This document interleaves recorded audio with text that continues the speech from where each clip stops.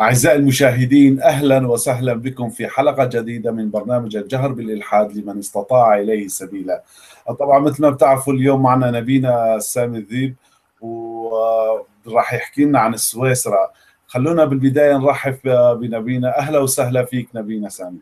أهلين بك وبجميع المستمعين والمشاهدين. أهلا بك نبينا وبصحتك خلينا نبدأ بالخمرة أول شيء بصحتكم يا ناس. صح بصحتك نبينا بصحتك. آه. وعدنا تحكي لنا على سويسرا أنا بدي أعتذر لاحد الأصدقاء اللي طلب إنه نسوي حلقة عن المثلية الجنسية ونبينا سامي اعتذر والمو اختصاصي فبنعتذر مرة ثانية للأخ اللي طلب نسوي حلقة عن المثلية الجنسية. آه نبينا ب... نحن كلاتنا بنحلف بحياة سويسرا يعني إذا بدنا نقارن مثلا سوريا ولا فلسطين شو أنت بسويسرا عايش و... فشو قصة سويسرا؟ الميكروفون معك والمحاضرة معك نبينا تفضل. أوكي اولا الحلقة هلا في صدى للصوت. أنا راح أخفي هلأ بطلت أسمع صوتك. أنا أنا قلت أخفي الصوت من عندي مشان أوكي هلأ أنت سامعني؟ آه سامعك تماما. خلص هلا ماشي ممتاز. هلا ماشي ممتاز هو الحلقة عن عن المثلية في الإسلام لم ألغيها تماما ولكن تتطلب تحضير أكبر لأنه ليس ليس تخصصي رغم إني درستها نوعا ما في بعض مقالاتي لكن حنرجع لها لاحقا. حنرجع لها لاحقا. فحبيت اليوم أكلمكم عن سويسرا وهو طلب أحد المشاهدين برضه أحد المشاهدين حب إنه أكلمكم عن سويسرا لعل في في تاريخ هذا الشعب وهذه الدولة عبرة لدولنا العربية والإسلامية لتتخلص من المشاكل اللي إحنا فيها. يعني ابن خلدون كان اظن سمى كتابه كتاب العبر. يعني تاريخ هو يستعمل للعبر حتى تتعلم منه. الحاصل. أنا وصلت في سويسرا على نهاية عام 1970 كنت حاصل على منحه للدراسه وصلت لسويسرا. طلعت الحال يعني مثل قصة بدوي دخل المدينة. أو بدوي راح على أوروبا. هناك كتاب كتاب ليس تحت يدي حاليا. ثانية واحدة. افرجيك اياه افرجيك اياه افرجيك اياه وهو كتاب مسلي جدا عنوانه بدوي في أوروبا. بدوي في أوروبا. جمعة حماد. سمعني آه سامعك نبينا بس الكاميرا لو تنزلها شوي بكون أفضل لأنه صار أيوه تمام بالتمام. حلو جدا. هلا هيك أفضل؟ أيوه. تمام هيك رائع. أيوه. ففي كتاب عنوانه بدوي في أوروبا. وهو كتاب رائع فعلا. كتاب كتبه جمعة حماد موجود على الإنترنت أصلا. أيوه. فممكن واحد يقرأه. كيف واحد بدوي من منطقة البحر الميت التقى فيه زائر زائر يعني سائح ألماني. والبدوي أكرمه. ويوم من الأيام يعني أراد أنه يدعو لألمانيا. فهذا البدوي يعني حمل إغراض وراح على ألمانيا. فكتب كل انطباعاته بألمانيا. كيف ركب الطيارة وكيف نزل وكان كيف كان الأكل وكيف اللقاء مع الجاليات العربية وبعدين كيف رجع للبلد وإلى آخره. فيعني آه بس سؤال الكاتب الكتاب هو نفسه البدوي ولا شخص كاتب عن البدوي؟ مش معروف. يعني أظن إنه لا هو مش البدوي أكيد اللي كتبه هو واحد مثقف أردني كاتب أردني هو اللي كتب الكتاب بس ما أعرفش هل هي قصة حقيقية أم لا بس مصورة يعني بصورة جميلة جدا ومضحكة ومعبرة. وهناك كتاب آخر ل لسفير سفير مصري وصل لسويسرا.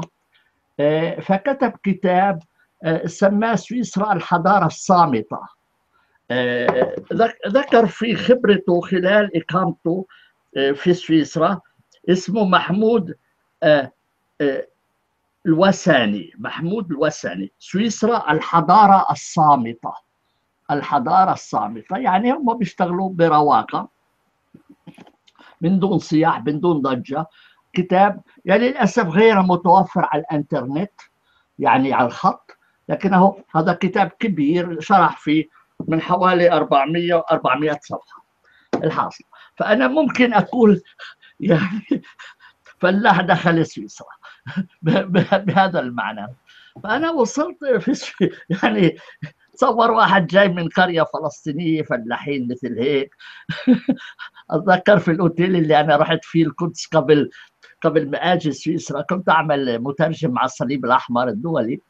أنا أخذوني حطوني في أوتيل في القدس علشان ثاني يوم كان عندي الطيارة.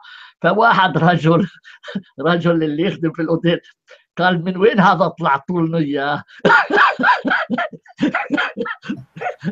واحد يعني واحد بسيط على قد حاله جايبينه من قرية كان بده على سويسرا. تصدير سويسرا إلى سويسرا. منيح.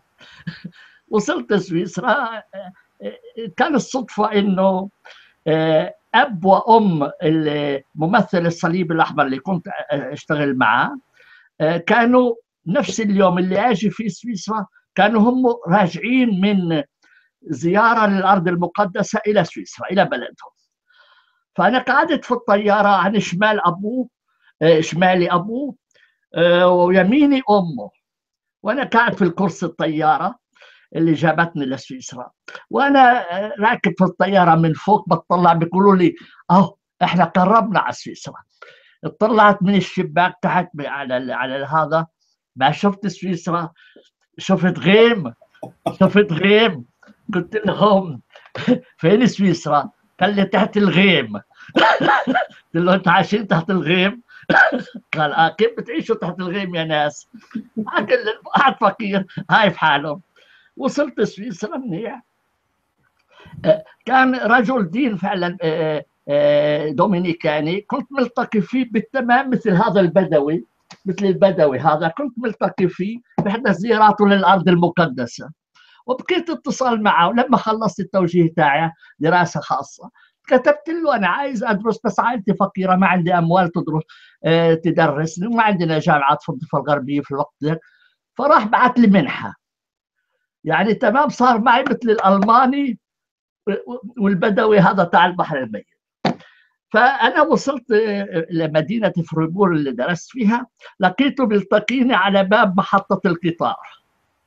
أخذني للسكن تاعي ودرست في جامعة فريبور.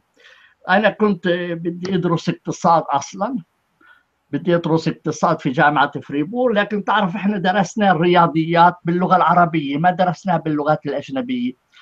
فأول أسبوع دراسة كنت كل يوم أخذ حبة أسبرين من وجع الراس لأني ما فهمت ولا شيء من العبارات اللي بالأحرف اللاتينية واليونانية والهذا للرياضيات ما فهمهاش أنا هاي شو درسنا رياضيات بالعربي ما درسنا رياضيات باللغات الأجنبية.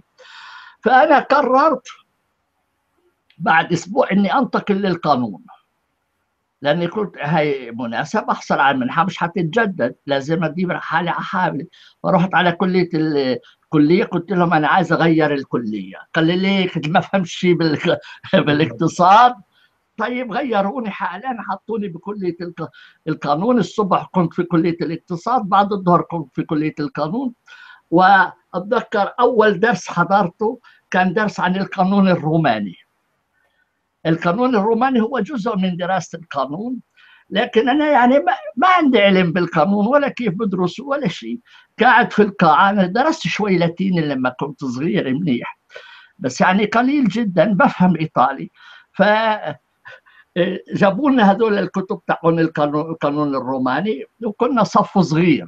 الصف كان صغير. يعني 24 واحد فقط.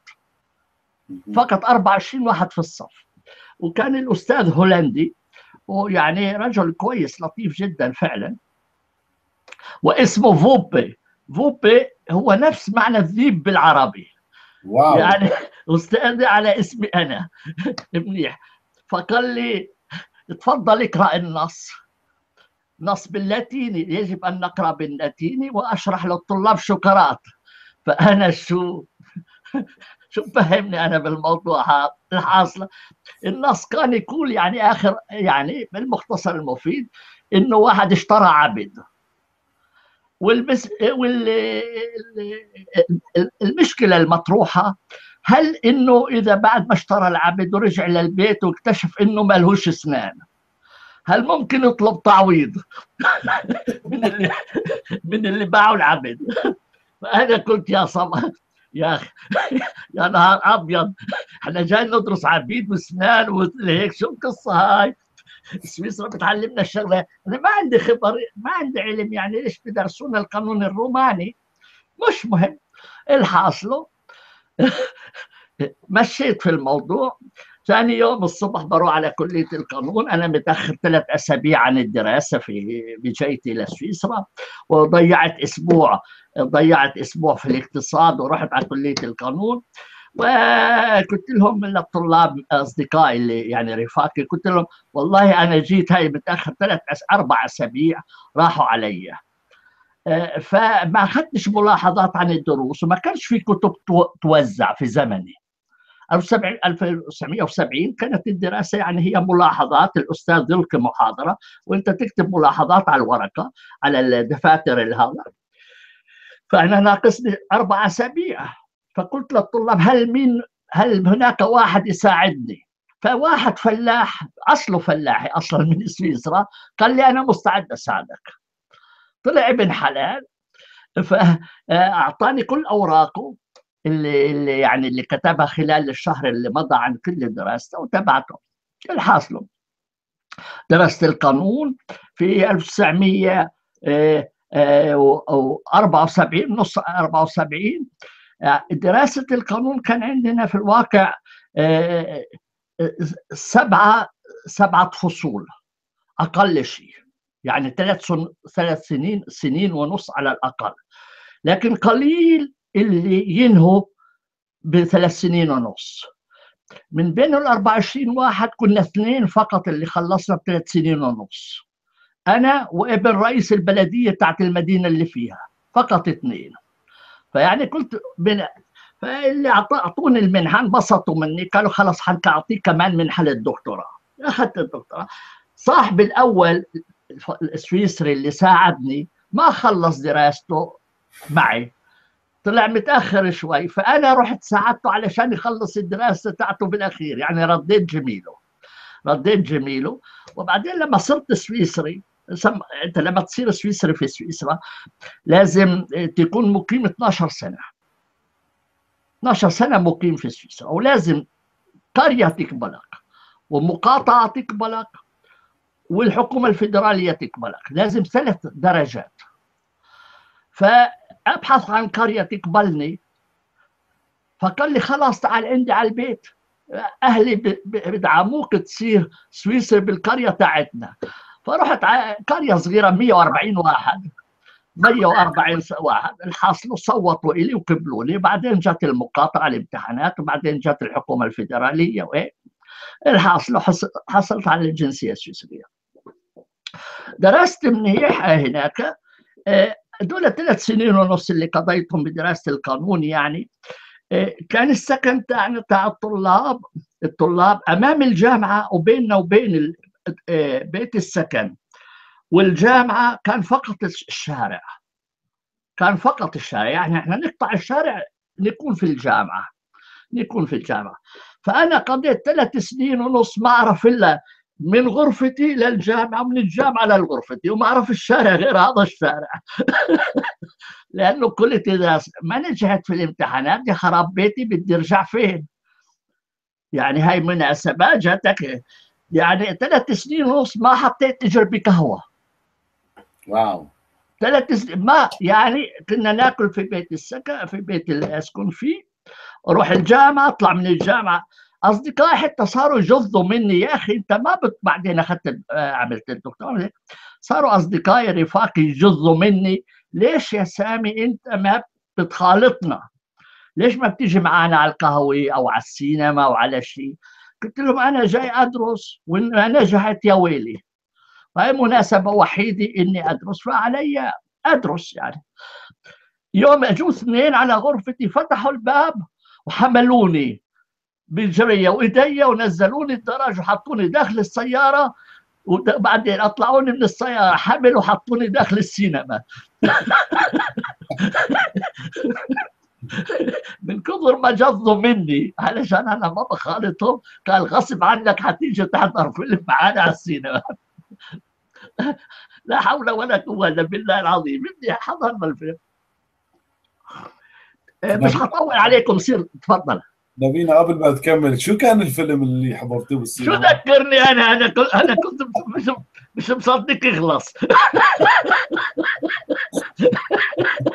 أنا قاعد غصب عني. مو بخاطري. لا. أنا هيك مسجون. كنت مسجون بينهم. هم حاب... هم حامليني كايمين وحاطيني حمل.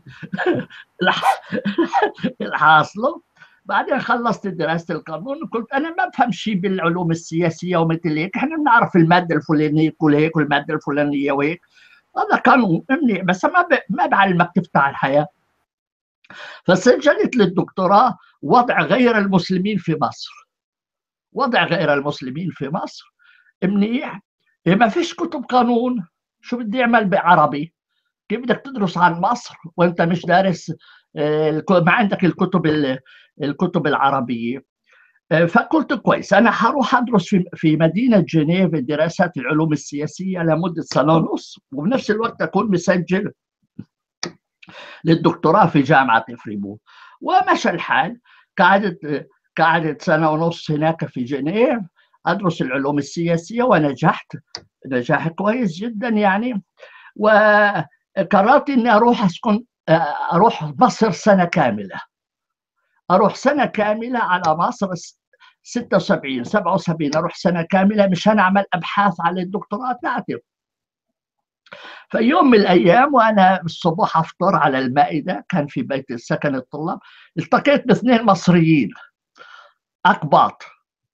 أهلا وسهلا بكم. كيف الأحوال؟ كانوا مارين هيك ساكنين ببيت الطلبة بالعطلة.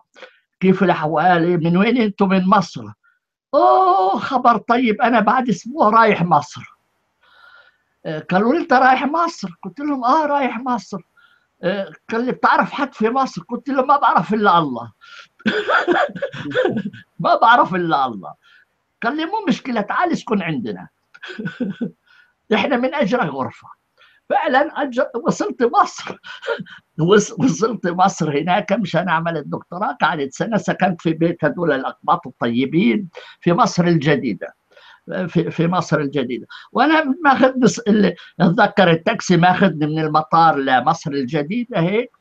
ولا الشوفير بيقول لي بيني وبينك أول ما تصل الغرفة احلق لحيتك.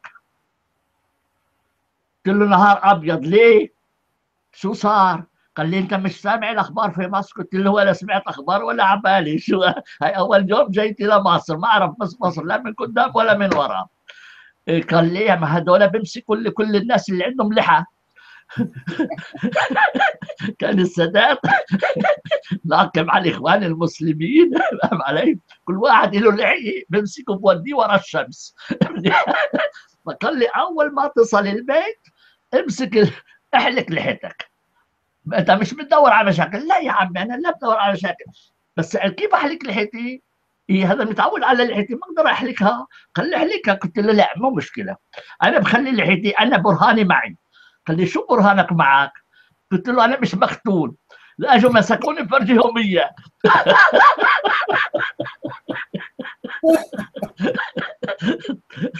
الحاصل؟ مرت السنة بالسلام مش هطول عليك السيرة إقامة سنة كاملة في مصر رجعت لسويسرا.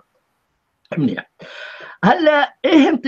إيه وعملت الدكتوراه بنجاح كويس وبعدين اشتغلت وتجنست وغيره وغيرات وتزوجت وصار عندي أولاد. منيح. الحمد لله. ولا الآن سرجت. منيح. الآن شو انطباعاتي عن سويسرا؟ هذه البلد الغريب يعني فلاح شو انطباعات فلاح فلسطيني دخل سويسرا جاي من قرية شو انطباعاته؟ فحاولت بحبش يعني طلعت الحال دراسة القانون الدستوري تاعنا يعني انجبرت أطلع على بعض أحداث سويسرا. وقلت يعني فعلا هذا بلد مميز بلد مميز نصيبي اراد إنه أكون في هذا البلد. وطبعا الحال لكل مقام مقال. مقامي في سويسرا هنا بتسمح لي بالحرية الفكر نوعا ما نوعا ما مو بالتمام يعني برضو كويس. فمجبور أغتنم هذه الفرصة علشان أتكلم. فايش شو هي سويسرا أصلا؟ اولا يعني كانوا يقولوا سويسرا منيح سويسرا بس أنا مش عارف وين موجودة. هي ما حتى ما بعرف بأي قارة موجودة. أول ما وصلت سويسرا ما كنت أعرف يعني أول ما حصلت على المنحة بسويسرا وأنا شو بدريني بسويسرا كان صحيح ممثل الصليب الأحمر جاي من سويسرا قلت له يوم من الأيام وين هاي سويسرا بتيجي؟ وين موجودة؟ راح جاب لي كلام ورسم لي حمار بأربع اجرين قلت له شو هذا الحمار؟ قال بالتمام هاي صورة سويسرا في وسط أوروبا. شكل حمار بأربع اجرين فانت لشوف الخارطة فعلا تضاريسها تبين كأنه حمار قاعد باكل حشيش. هذا كل الشيء الوحيد اللي عرفت. وصلت هنا بسويسرا فهاي البلد تحيط بها خمس دول. تحيط فيها خمس دول في ألمانيا من الشمال وإيطاليا من الجنوب والنمسا وإمارة ليشتنشتاين من الشرق وفرنسا من الغرب. وما لهاش منافذ بحرية. ما لهاش منافذ على البحر. لكن عندها انهار وعندها بحيرات كبيرة صحيح.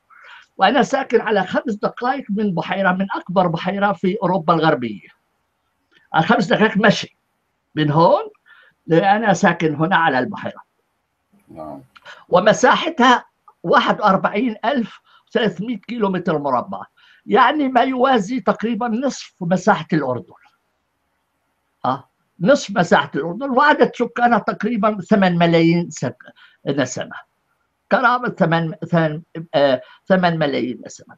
واساس أساس سويسرا يعني النواة تاعت سويسرا يقولون إنها ثلاث مقاطعات ثلاث مقاطعات عملت تعاهد بينها إنها تدافع عن بعضها وكان ذلك العهد في أول أغسطس من عام 1291 1291 وهذا هو اليوم الوطني لسويسرا. الوط... اليوم الوطني لسويسرا هو 1 أغسطس 1291 آه واستقلت هي سويسرا كانت تنتمي للإمبراطورية الرومانية المقدسة كانوا يسموها تحت عائلة هابسبورغ. استقلت أخذت استقلالها سنة 1648 1648 وسويسرا تشبه كثير منطقة الشرق الأوسط. كثير. يعني كان هناك حروب. لما أجوا البروتستانت وعملوا الاصلاح الديني تاعهم في ألمانيا امتد هذا إلى سويسرا لأنه إحنا جيران. فاجوا هذول المبشرين البروتستانت عايزين يحولوا المقاطعات إلى بروتستانت. وفي مقاطعات كاثوليك رفضوا مقاطعات بروتستانت رفض كانوا عايزين يعني تحولوا إلى البروتستانت والكنائس تقاسموها والكنائس اللي بروتستانت بيحتلوها راحوا محوا كل الصور وكسروا الصلبان. هلا الكنائس البروتستانتية ما فيها صور ولا شيء محوها. محوها أو أو راحوا دهنوها مثل هيك وتروح على الكنائس البروتستانت ما عندهم صليب على الكنيسة. موجود ديك. ديك هوا بفر ما في صليب. ما في صليب. وكنائسهم يعني مثل الجوامع. ما في شيء. لا تماثيل ولا صور. بالتمام مثل الجوامع. والديك بيعني شيء أي شيء الديك هذا بيعني أي شيء له معنى مغزى؟ بحبوا الدجاج بس هذا الشيء الوحيد اللي بعرفه. ما بعرف شو ما بعرف شو سببه. أتذكر واحدة سورية كاثوليكية جت زارت لي هنا بتقول لي راحت على مدينة لوزان ودورت على كنيسة. تخاف تدخل البيوت تقول هاي ربما بيت. ما وجدت كنيسة بتقول لي قلت لها ولو مليانة كنائس في لوزان. قلت لي ما في كنائس. قلت له كيف ما في كنائس؟ قال ما في كنائس كل مرة أطلع فوق أشوف صليب ما في صليب أشوف ديك. قلت له هذا هي الكنيسة. قالت لي خبر أبيض ليش حاطين الديك بدل الصليب؟ قلت له ما ما أدري بحبوا الدجاج هون. صراحة أنا بتمنى بتمنى كل الكنائس بالعالم تحط ديك. خلاص. وكل المساجد كان بدل الهلال تحط ديك كمان. عارف عليك أنت كمان بتحب الديك. الدجاج قول لي مع ريش ولا بلا ريش تحب الدجاج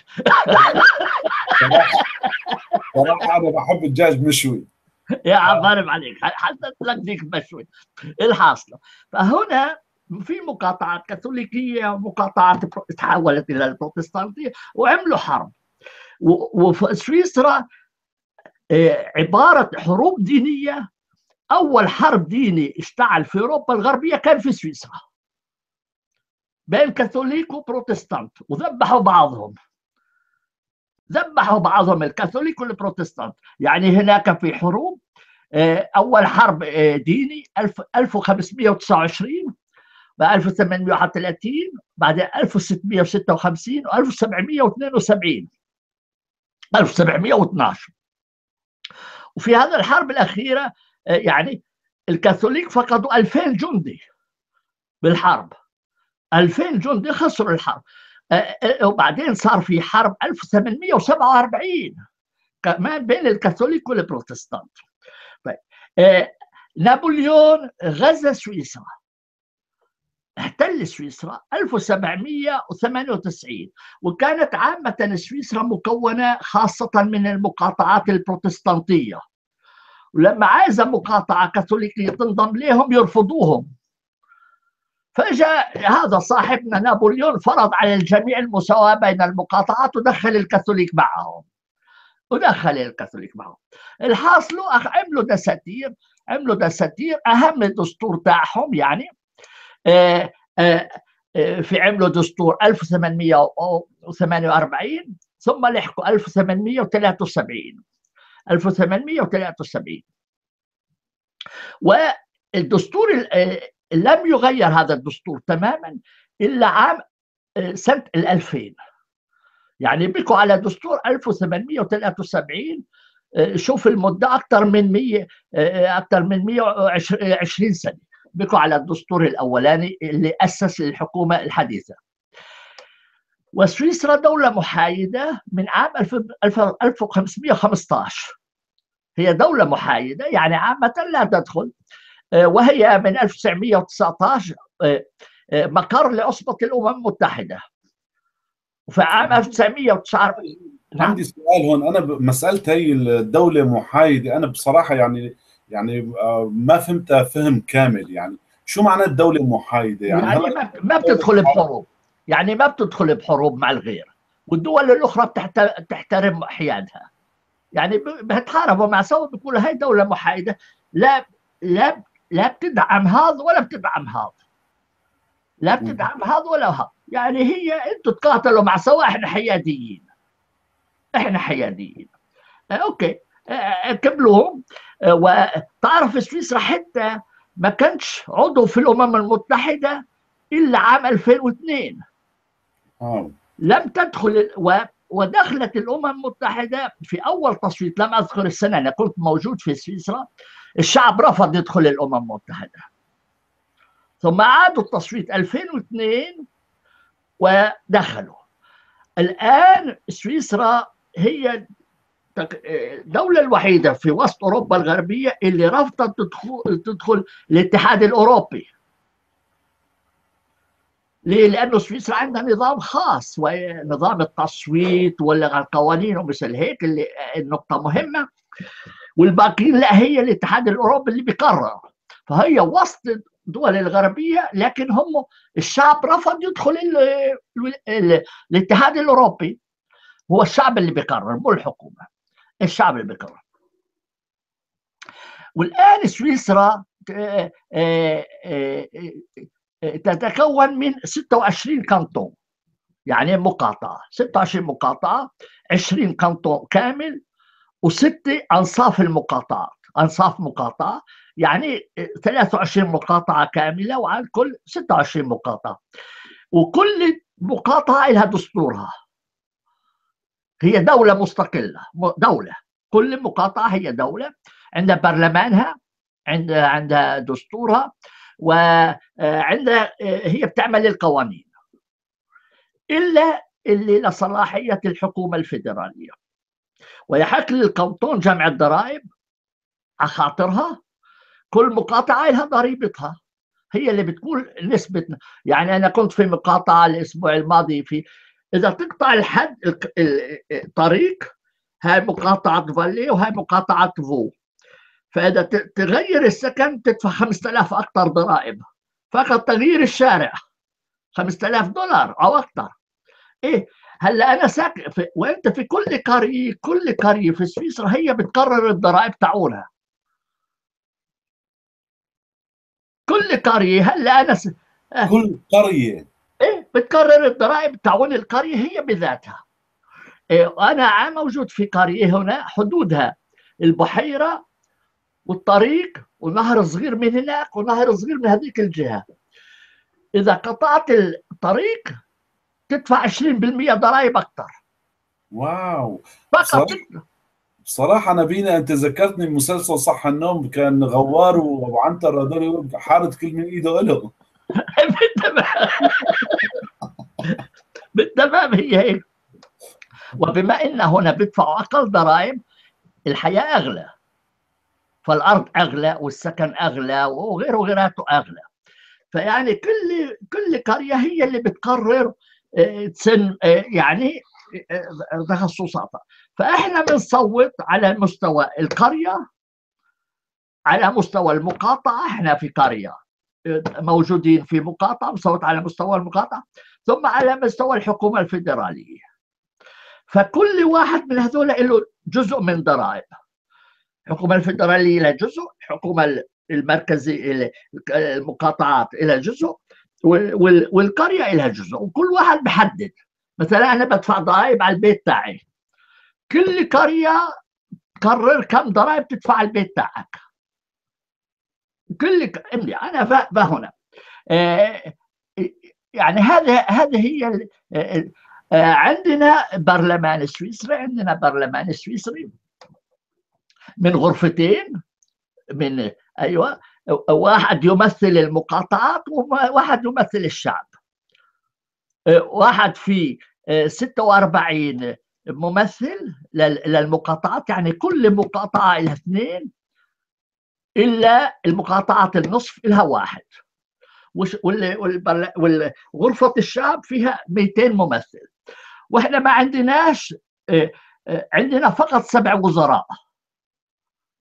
مش ممكن تزيد على السبعة. فقط سبع وزراء. وكل واحد مستلم جزء من الفيدرالية يعني من الحكومة الفيدرالية سبع وزراء المعذرة عندي هنا. ف وعندنا رئيس دولة رمزي. وهو واحد من هذول الوزراء. واحد من هذول الوزراء بالتناوب بصير رئيس الدولة لسنة وعامة الشعب ما بعرفش مين رئيس الدولة يعني أنا اسالني مين رئيس سويسرا اليوم ما بعرفوش. بصراحة ما بعرفوش. ليش؟ لأنه ما عندوش شغل. يعني ما عندوش شغل خاص به الشيء الوحيد اللي بتعرف إنه هذا الرئيس لأنه هو بلقي خطاب آخر السنة بس. هناك بيظهر لك مين هو؟ آه هذا هو الرئيس. أهلا وسهلا بك تشرفنا بك. نبينا نبينا فمساله الوزارات هي يعني السبع وزارات بس يعني أنا بس كنت أسمع مثلا ما في جيش لسويسرا المسائل هي. فيها شيء وزارات الوزارات الموجودة. وزاره الداخلية وزاره التجارة وزاره الاقتصاد وزاره القانون والبوليس ومثل هيك. يعني هم سبع وزارات فقط. إذا تحب أعطيك عدد أسماء الوزارات ممكن أعطيها بس هم سبع وزارات. واحد كمان للجيش بطبيعة الحال واحد وزارة للجيش. فعندنا فقط سبع وزراء. بطبيعه لهم نواب؟ عمالهم يعني موظفيهم بالتمام وفي سويسرا عندنا ثلاث ثلاث لغات أربع لغات أربع لغات. ثلاثة منها رسمية كل القوانين تترجم بها بثلاث لغات. واللغة الرابعة هي عدد صغير من السكان لكن هي في المقاطعة تعتبر يعني لغة رسمية في المقاطعة هذه منيح.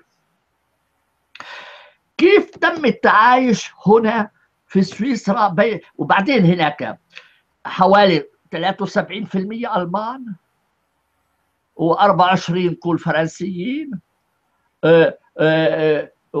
أو 20 فرنسيين 4 أو 5% سويسري إيطاليين وبعدين جزء رومانش يعني أربع جنسيات مختلفة ومع أطباع مختلفة.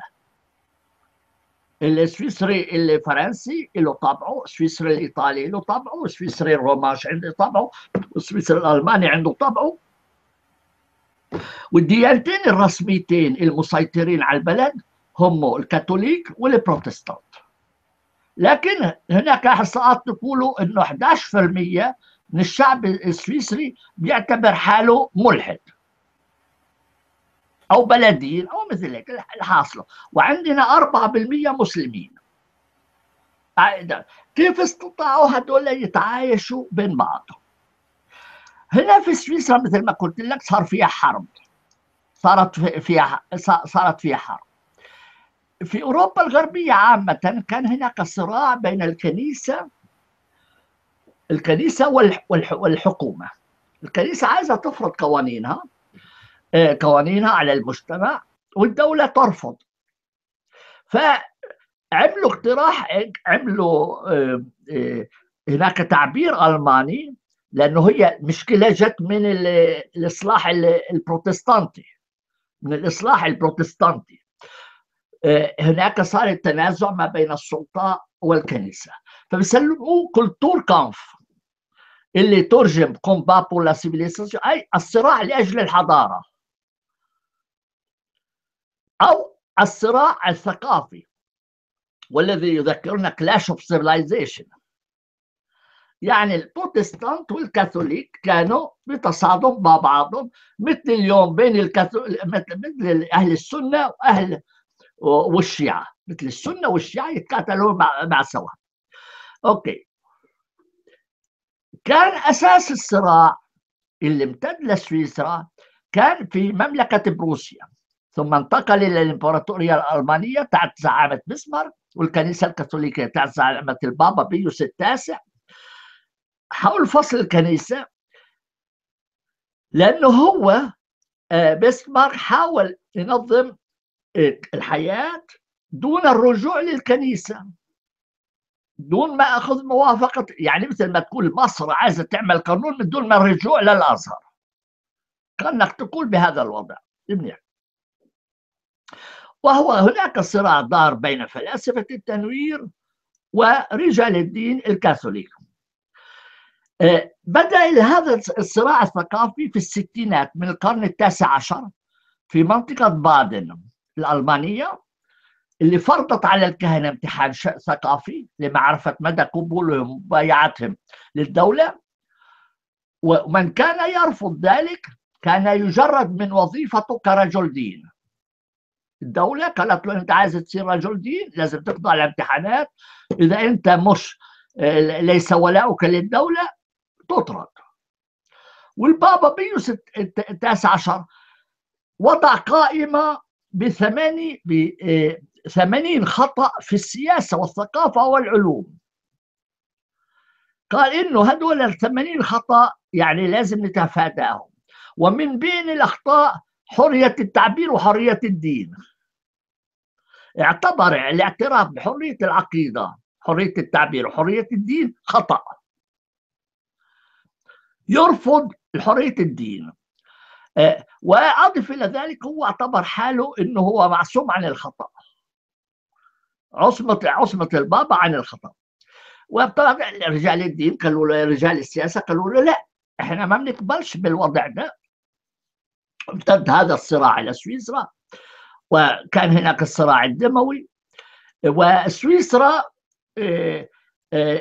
لأنه كان يسيطر عليها في الزمانات التيار البروتستانتي راحوا قطعوا العلاقات مع الفاتيكان. 1873 بسبب عصبة البابا وسنة بعدها جو أخذوا دستور 1874 لضمان وحدة سويسرا بين كاثوليك وبروتستانت لأنه ما كانش في مسلمين وقتها. معي هم طائفتين مسيطرين كاثوليك والبروتستانت. فعلشان يأكدوا وحدة البلاد كيف تجمع أربع جنسيات أربع لغات ديانتين متقاتلتين تجمعهم في دولة واحدة صغيرة وبالإضافة إليها فقيرة. كيف تجمعهم؟ فجابوا الدستور تاعهم 1874 وضعوا في مبادئ عامة اللي تضمن وحدة البلد. ويا ريت الدول العربية تنصت كويس إزاي سويسرا ضمنت ضمنت سلامتها من خلال القانون. اولا أعطيك المبادئ اللي بنيت عليها. سحب سجل الأحوال الشخصية من يد الكنيسة ووضعه في يد الدولة وهو ما يطلق عليه سجل الدولة المدنية.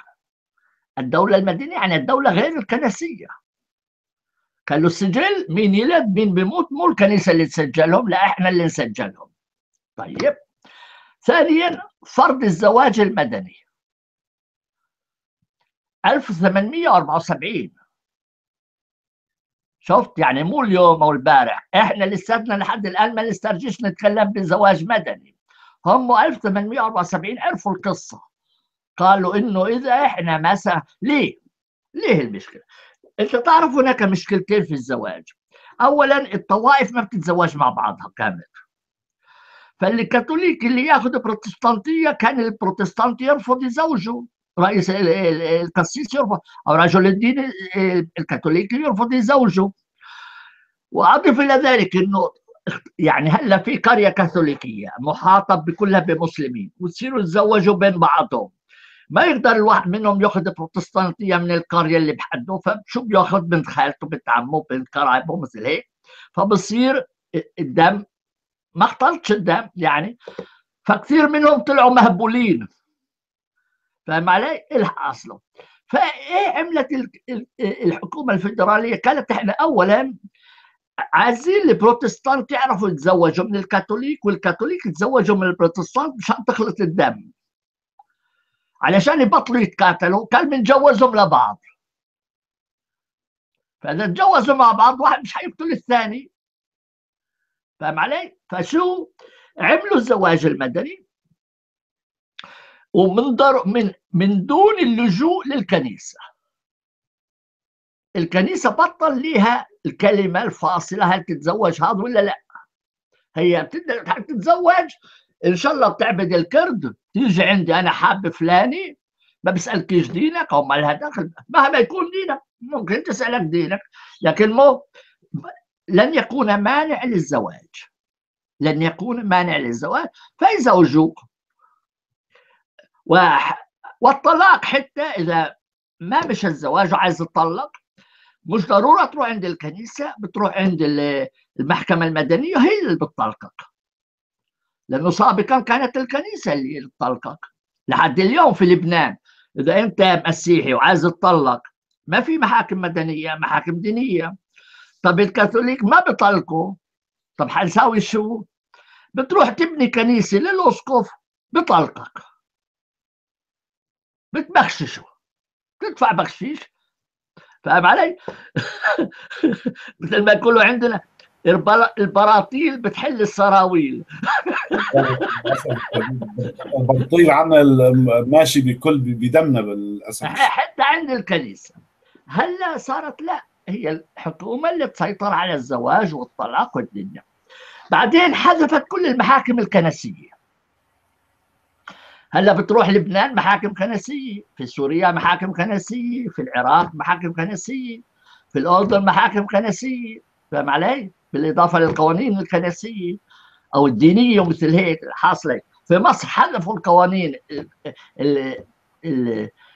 المحاكم الدينية لكن لم يحكم لم لم يحذفوا القوانين الدينية.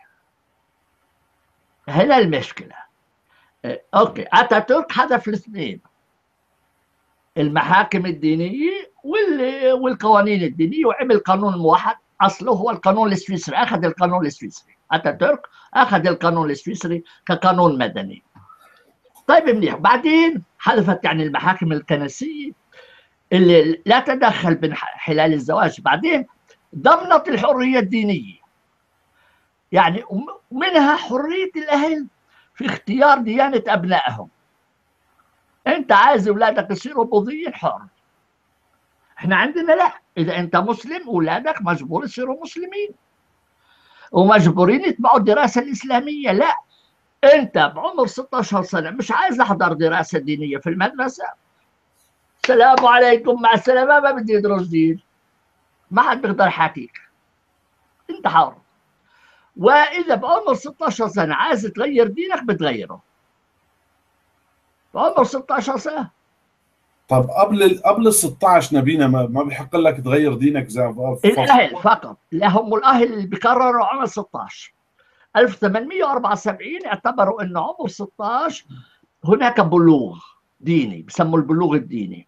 تقدر تقرر قبل 16 أهل هم اللي يقرروا مش الدولة. إحنا في في مجتمعنا مش الأهل هم اللي هي الدولة اللي بتقرر انه حتكون مسلم. لنفرض واحد مسيحي تز... واحد واحد مسيحي يتزوج مع مسلم مش ممكن يربوا أولادهم مسيحيين. لأن الحكومة تفرض الإسلام. ولو حتى الاثنين عايزين يسووهم مسيحيين ما يقدروش لأنه الحكومة بتتدخل. لأن الحكومة هنا في سويسرا الحكومة ما بتتدخل. القرار يتبع الاهل لعمر 16 سنة. بعد 16 سنة عايز تغير دينك تغيره. اضف إلى ذلك حذفوا جميع المقابر الدينية. يعني كيف؟ يعني مثلا أنت كنت كاثوليكي وطلقت. أنت كاثوليكي في مقابر كاثوليكية الكنيسة الكاثوليكية ترفض تدفنك في مقابر الكاثوليك. طب وين يدفنوك أخي؟ ينفعش طيب أنت جاك ولد توفى وهو صغير مش معمد. إذا مش معمد ما تقدرش يكبروك في مقابر الكاثوليك. بيدفنوك خارج المقبرة. إذا انتحرت خارج المقبرة. حكم عليك بالإعدام خارج المقبرة. ومشاكل مثلا واحد بروتستانتي مات في قرية كاثوليكية. مسكين وين بدهم يدفنوه؟ الكاثوليك بيرفضوا يدفنوه. طب وين يروح يدور على محل يدفنوه فيه؟ ما هو مات المسكين. فما علي؟ ما بيقدر يمشي. يروح يدور على واحد يقبل جثته. فالحكومة قررت إنه المحاكم بإيدي أنا. ولو حول الكنيسة الكنيسة ما لهاش دخل بالمح... بالمقابر. لأنه كانت المقابر عامة حول الكنيسة. لكن ملكية المقابر أصبحت للدولة. وقرار مين يدفن فيها هي للدولة مو للكنيسة. فقالوا أحسن شيء عشان نوحد الكاثوليك والبروتستانت إنه نوحد بين الأموات. ف وال... وال... والأكثر من هيك إنه وضعوا هاي المادة تاعت المقابر في الدستور. وهو الدستور الوحيد في العالم اللي وضع فيه مادة عن المقابر. شديدين لدرجة إنه قالوا لا ما في فائدة. إحنا اللي بنسيطر على المقابر مو عايزين رجال الدين يتدخلوا في الموضوع. يجب أن نضمن الكرامة الإنسانية ونعطيه دفن صالح كإنسان. مالوش دخل للكنيسة. يعني شو؟ هلا لما انت بتقيم السجل المدني من إيد الكنيسة. بتسج... بتقيم الزواج بتحط زواج مدني. بتقيم الزواج من إيد الكنيسة. الطلاق بتقيمه فاهم علي؟ المحاكم ما في محاكم. وبعدين تسمح الحرية الدينية حر تغير دينك. وبعدين المقابر بيد الحكومة. يعني نزعت نزعت كل صلاحية الكنيسة. من الميلاد إلى الموت. من الميلاد إلى الموت. هي بإيد الك... بإيد الدولة. وهيك الدولة ضمنت إنه الكاثوليك والبروتستانت يتعايشوا. يعني هذا مبدأ أساسي لمجتمعاتنا العربية والإسلامية. إذا عايزة تعيش يجب أن تأخذ بهذول المبادئ الأساسية اللي سويسرا أخذتها علشان تتخلص من الحروب الدينية اللي كانت تدمرها وعلشان يضمن وحدة البلد. هذول النقاط أساسية. اليوم ما فيش ولا دولة عربية بتأخذ بهذه المبادئ. وبطبيعة الحال كيف بدك تعيش بسلام؟ مش ممكن. يعني بترجع للوضع اللي كانت في سويسرا قبل ما يعملوا الدستور هذا وكان زمن حرب. وإحنا فعلا في حالة حرب. ليه؟ لأن إحنا لم لم نلتزم بهذول المبادئ. سويسرا فهموا فإحنا السعيد اللي بتعلم من أخطاء غيره. سويسرا كانوا عندهم أخطاء عالجوها. إحنا ما حدش يسترجي أصلا يتكلم بالأخطاء. يا ويلك إذا بتقول عندي أخطاء؟ ما عندوش أخطاء. طيب منيح. هلأ شو هلأ في عام 2000 2000 الف سنة عام 2000 سويسرا تبنت دستور جديد. دستور جديد. وفي الواقع هذا الدستور غريب عجيب. يعني قعدوا 20 سنة يفكروا يسووا دستور جديد. قالوا سويسرا دوله حديثة يجب أن نعمل دستور حديث للدولة السويسرية. ما ماشي الدستور الحالي ليش يا أخي بدك تغير؟ ما في شيء ما كل مرة جددوه ماشي وضامن سلامة البلد. تجدد على شو؟ ما لا مالهاش داعي. قالوا لا إحنا عايزين يعني دستور جديد. حط بعقله رئيس واحد من الوزراء إنه عايزين نسوي دستور جديد. قعدوا 20 سنة يبحثوا يكتبوا دستور عملوا لجان الله كتبوا مشاريع الله. ما نفعت. ما مشى. بعدين اجى واحد قال لهم يا أخي أنتم مطولين معنا. تعال أنا بدي أسوي لك إياه السنة هاي. طيب منيح سوي لنا إياه السنة هاي. فاللي مسؤول عن العدل. قاعد قاعد بمكتبه حسب ما بعرف يعني. في ليلة واحد كتب لهم الدستور. فشو هو مستعجل؟ هو مش عايز السنة تخلص عليه. عايز إنه يبين لهم أنا بستطيع اكتب دستور. فكتب لهم الدستور.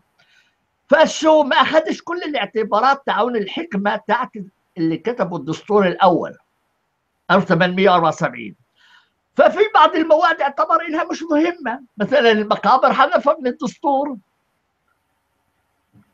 هذا خطأ. والآن إحنا واقعين مشكله المقابر.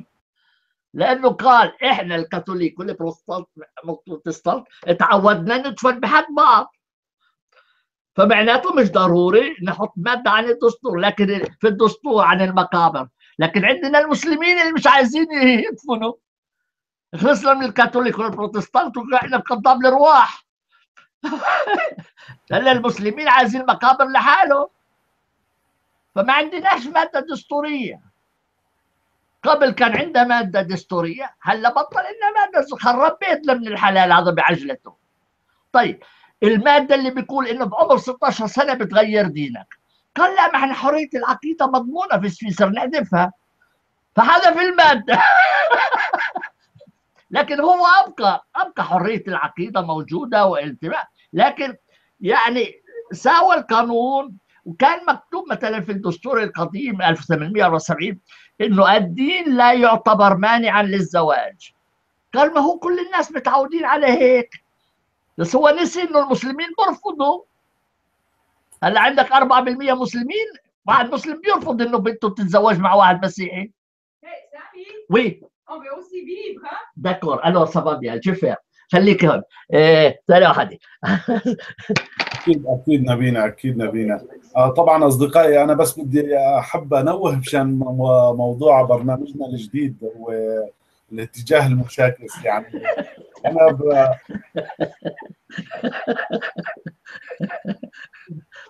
طبيعة الحال. أهل البيت عايزين أوطي صوتي. حوطي صوتي. الحاصل إنه هذا الدستور الحديث صحيح إنه حديث واللي تريده لكن ما تع- تحسينات لا بالعكس يعني إيه، تغاضى عن بعض المواد اللي إحنا كنا بن- بنحتاجها اليوم. الحاصل. هذا الدستور الحديث حدث إنه إني أنا اللي ترجمته للعربية. الدستور الحديث هي ترجمتي والموجود على موقع الحكومة الفيدرالية وتم تحديثه. يعني أضيفت له مواد لأنه دائما يضيفوا مواد والنسخة المحدثة وضعنا الرابط لها ومذكور في بدايته شكر إليه. الترجمة هاي إنه أنا اللي كنت وهم حدثوا موقع آخر منيح. الحاصل. هلأ هذا الدستور الحديث يعني ممكن ترجعوا له هذا. نفس الأمر جاء عندنا إنه هناك هيئة دي الفلسطينيين قالوا إحنا عايزين نعمل دستور لنا. فعملوا دستور ليهم. مشروع دستور. مين اللي دفع الدستور؟ الفلوس الحريري. يا سلام. أيوه. شو بدي يطلع من الحريري غير الخرا؟ الحريري أكيد جاب دستور مكي وحطه بال ما هي المشكلة ما يقدروش يكتبوا شيء. هذول جايين عندهم أفكارهم الدينية وحطوا فيها أخذوا القانون الدستور المصري ونقلوه. نفس عيوب الدستور المصري والدساتير العربية الأخرى حطوها في المشروع الدستوري هذا. فجاء هيئة دينية مسيح هم استشاروا المسيحيين قال لهم أنتم شو رأيكم بالدستور هذا؟ مشروع الدستور بعثوا لي إياه. قالوا لي أخي أنت كمسيحي فلسطيني وقانوني علق لنا على الدستور. فأنا كتبت تعليق أعطيتكم الرابط تحت الشريط. ما أخذوا بالتعليقات والدستور لحد الآن مو ماشي. دولة فلسطين ما عندهاش دستور لحد الآن. يعني دستور كامل إنه نافذ المفعول حسب علمي لحد اليوم ما عنده مش دستور. وهذا الدستور في العيوب اللي عالجها دستور 1874 وأنا قلت لهم يا ناس أولاد الحلال هذا الدستور ممكن يعدل بهذا الطريقة. وأنا أقول للدول العربية إنه أنا كقانوني دارس القانون في سويسرا مترجم الدستور السويسري للغة العربية. إذا محتاجين مساعدتي مستعد أجي اعمل لكم دستور جديد أو أساهم لوضع الدستور. كيف حلت سويسرا المشاكل؟ نستعمل الحلول السويسرية لطرح لحل مشاكلكم الداخلية. أنت تعرف أتاتورك اجى وصل الحكم. كان هناك الخليفة والسلطان. قال له لا أنا ما أقدرش أساوي دولة حديثة بالقوانين الإسلامية. فشو عمل؟ طرد الخليفة من إسطنبول ها واختار فين؟ إنه يجي على سويسرا الخليفة. واتاتورك راح أخذ القانون المدني السويسري بدل الخليفة بالقانون. وحذف كل المحاكم الدينية والقوانين الدينية وعمل دولة حديثة. واليوم للأسف الأتراك نسيوا التاريخ تاعهم عايزين يرجعوا حاليا لورا الدول العربيه الدول العربية إذا عايزة إنها تتقدم يعني مو مشكلة أنت خد طب هلا بدنا نقرأ بعض المواد بعض المواد اللي تفيد دولنا العربية. اللي قد تفيد دولنا العربية مش حنقراه كله الدستور السويسري لأنه دستور طويل. فإحنا عايزين نقرأ بعض مواده اللي إحنا هعلق عليها علشان هو هو كم عدد مواده يا رب؟ يا يا يا يا. ثانية واحدة أعطيك أعطيك عدد مواد الدستور.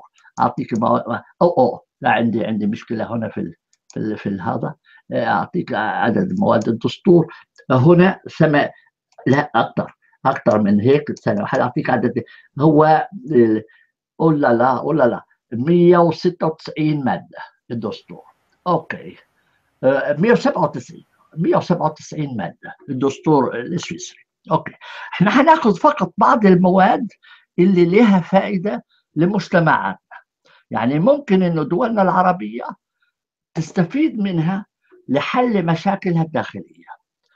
اولا المادة الرابعة. المادة الرابعة شو بتقول؟ آه اللغات القومية. اللغات القومية. ليش إحنا بنتكلم اللغات القومية؟ لأنه تعرف المشكلة في في في, في سويسرا في في تركيا؟ لحد الآن ما بيعترفوا بالكردي. ما ما اعترفوا بالكردي. هنا في سويسرا عندك أربع لغات. اعترفوا بأربع لغات. إحنا هنقرا المادة الرابعة. سوريا لا يعترفون بالكردي يعني مثلا وسوريا بالتمام. وحتى مصر ما بتعرف ما بتعترف بالقبطي ما بتعرف تلقط حتى لما عملوا عملوا حلقات دينية يعني القداس بالقبطي في في الإذاعات أو التلفزيون المصري احتجوا قال لا هذا مش بالعربي. احتجوا عليهم. الحاصلة. شفت علي؟ هلا المادة الرابعة المادة الرابعة بتقول لك إيش؟ المادة الرابعة بتقول لك إحنا نقراها مشان نكون على نور. آه يا الله. المعذرة هنا لازم السيطر عليها. اللغات القومية هي الألمانية والفرنسية والإيطالية والرومانشيه الأربعة. والمادة 70 بتقول لك المادة 70 المادة 70 إحنا هنقرأ المادة 70 آه هنا الكمبيوتر قاعد بيلعب منيح مش مشكلة. حنسيطر عليه هيك. المادة 70 بتقول لك يا عزيز قلبي هنا. اللغات الرسمية في سويسرا هي هي الألمانية والفرنسية والإيطالية، اللغة الرومانشية هي أيضا لغة رسمية للاتحاد عند التخاطب مع المتحدثين بهذه اللغة. تحدد المقاطعات لغاتها الرسمية وحفاظا على الانسجام بين المجموعات اللغوية. تحرص المقاطعات على التقاسم التقاسيم الجغرافية التقليدية للغات وتضع في الاعتبار الاقليات اللغوية المحلية. يشجع الاتحاد المقاطعات التفاهم والتبادل بين المجموعات اللغوية المختلفة. يساعد الاتحاد المقاطعات ذات اللغات المتعددة في قيام مهامها في هذا الشأن. يدعم الاتحاد الاجراءات، يعني هنا عندنا مقاطعات فرنسية، في مقاطعات إيطالية، في مقاطعات ألمانية، مقاطعات رومانش مقاطعة رومانشية. كل مقاطعة بتحافظ على على لغتها. في مقاطعات لها لغتين. مثلا مقاطعة فريبور لها ألماني وفرنسي. فكل قوانينها بتصدر بهذه اللغتين. في جنيف مقاطعة فرنسية قوانينها بتصدر باللغة الفرنسية. أما الحكومة الفدرالية بتصدر بثلاث لغات. القوانين جامعة جميعها بتصدر بثلاث لغات. لكن إذا واحد من المقاطعة هاي الصغيرة اللي فيها أقل من 1% عايز يحكي بلغته بحكي له بالبرلمان يحكي بلغته. ما حدش بزعجه ما حدش بزعجه. طيب هلأ نأخذ مادة أخرى آه هذا موضوع اللغات. ثانيا المساواة أمام القانون. المساواة أمام القانون. بتقول لك المادة الثامنة المادة الثامنة كل الناس متساوون أمام القانون، لا يجوز التمييز بين الناس بسبب الأصل أو العرق أو الجنس أو العم أو العمر أو اللغة أو الوضع الاجتماعي أو طريقة الحياة أو الاعتقاد الديني أو الفلسفي أو السياسي. هذا مبدأ المساواة، دولنا العربية لا تقبل بهذا المبدأ، صحيح وضعته في الدستور لكن كلام فارغ. في مادة أخرى راحت نقضته. فيعني هذا المادة معمول بها في سويسرا. المادة العاشرة الحق في الحياة والحرية الشخصية. لكل إنسان الحق في الحياة عقوبة الإعدام ممنوعة. نص في الدستور ممنوع الإعدام. لكل إنسان الحق في الحرية الشخصية وخاصة في سلامته البدنية والنفسية وفي حرية التنقل التعذيب ممنوع. وكذلك كافة صور المعاملة المعاملة أو العقوبة سواء المعاملة أو العقوبه القاسية أو اللائسيه أو المهينة. يعني كل تصرفات السعودية بتقع تحت هذه المادة. هذا مخالف حتى في كل الدول العربية فيها تعذيب. كل الدول العربية يا للأسف. أيوه فهنا هنا عندنا في سويسرا السجن مثل الأوتيل أربع نجوم. أنا يعني بترجم أوقات للحكومة بتزور السجن أربع نجوم. سجن أربع نجوم طيب لكن هنا برضو في عيب في هذه المادة هذه المادة عامة فمثلا في قانون يمنع ختان البنات في سويسرا. لكن لما سألت اللي كتب القانون سألته للي كتب القانون هل ممكن نستفيد من هذه المادة لمنع ختان الذكور؟ جاوبني أنت عايز مشاكل مع اليهود؟ هيك جاوبني حالا. طب أنت عامل لنا دستور هتضحك علينا ولا شو؟ ففي قانون في سويسرا يمنع ختان الإناث لكن ما حدش منهم يسترجي يجي على ختان الذكور لأنه خايفين من اليهود.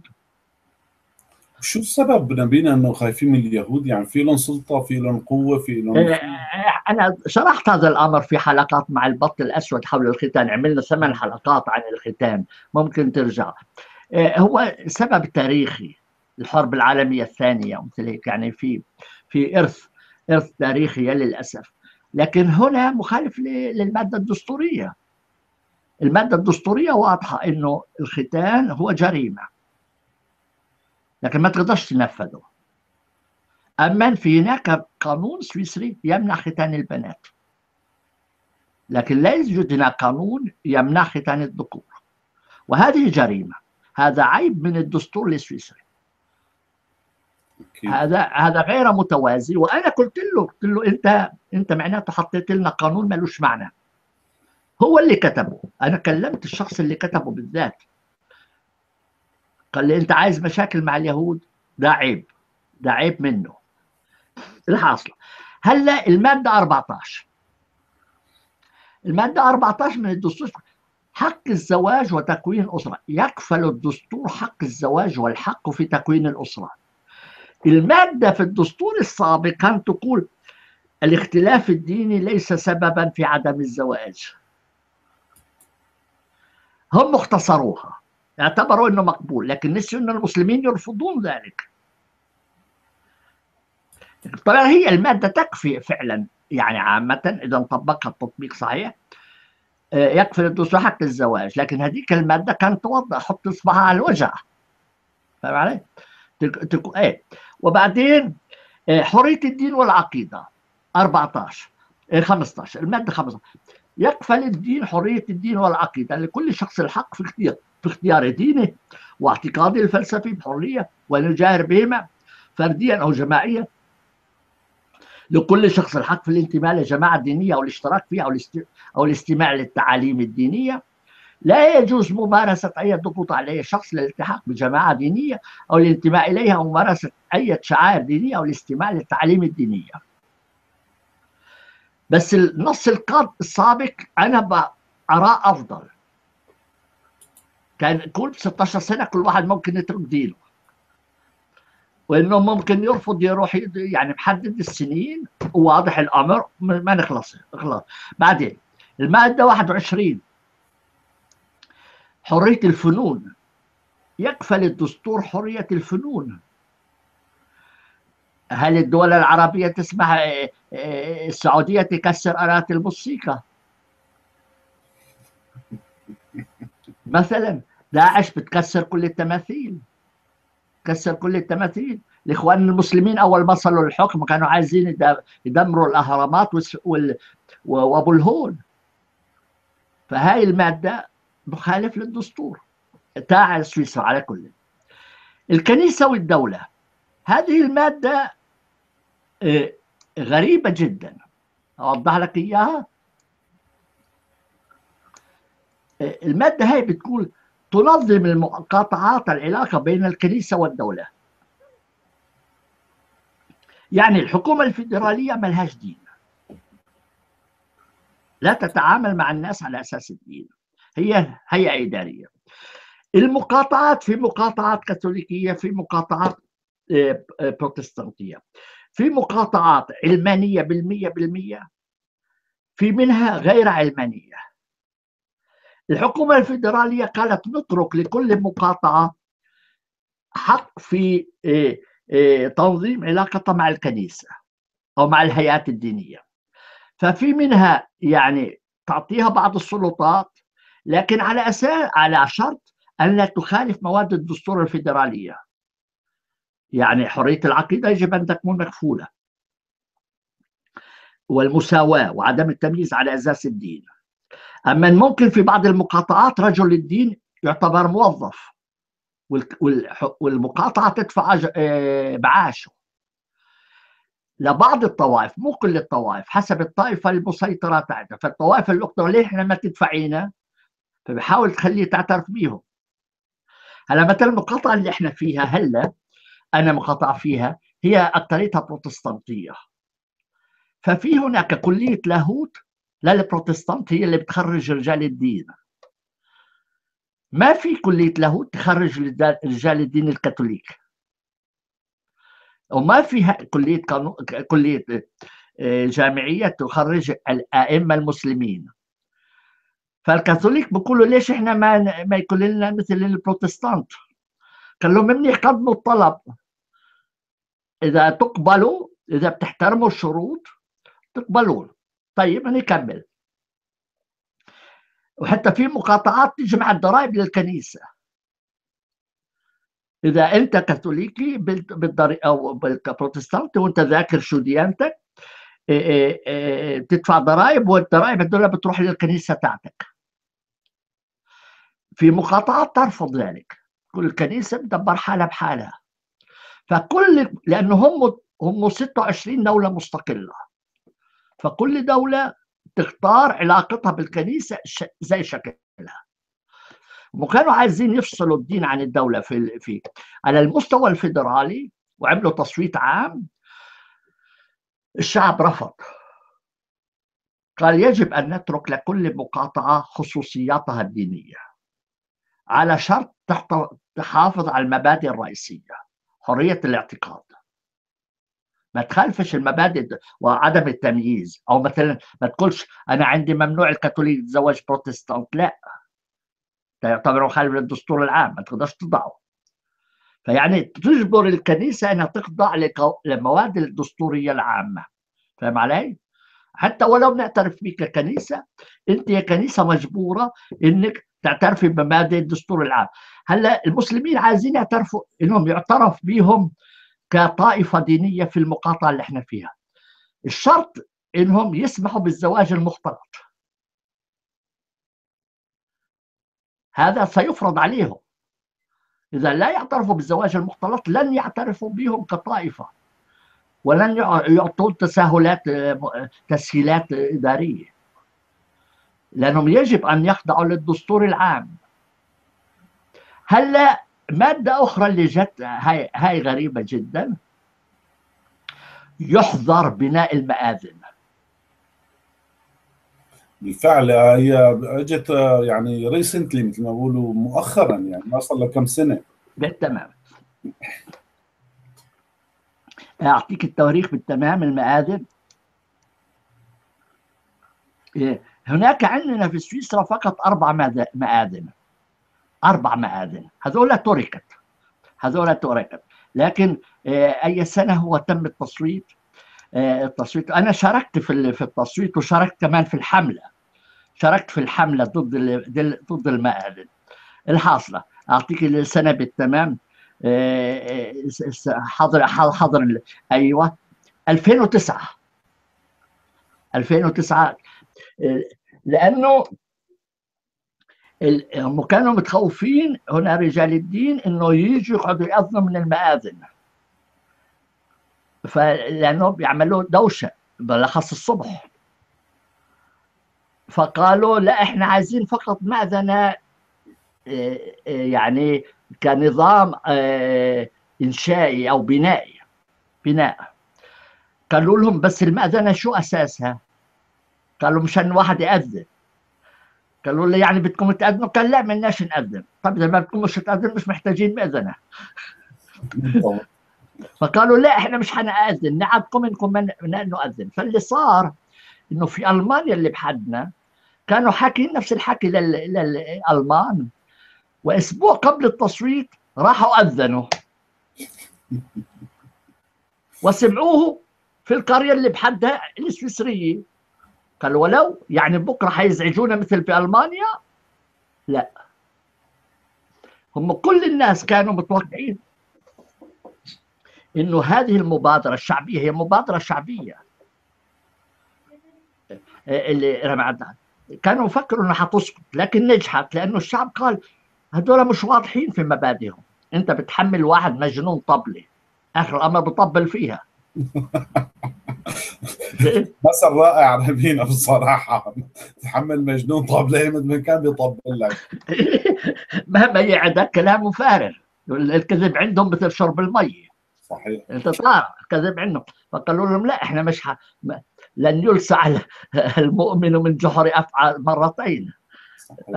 رفضوا. الحاصل هلا إيه المواد الأخرى اللي إحنا تهمنا في في الدستور هذا؟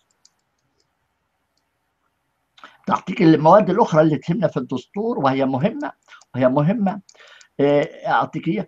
المادة 138 المبادرة الشعبية لاقتراح مراجعة شاملة للدستور الاتحادي. يعني أنت ممكن 138 هذه مادة غريبة جدا. 138 يعني الشعب ممكن يقول أنا عايز أغير كل الدستور.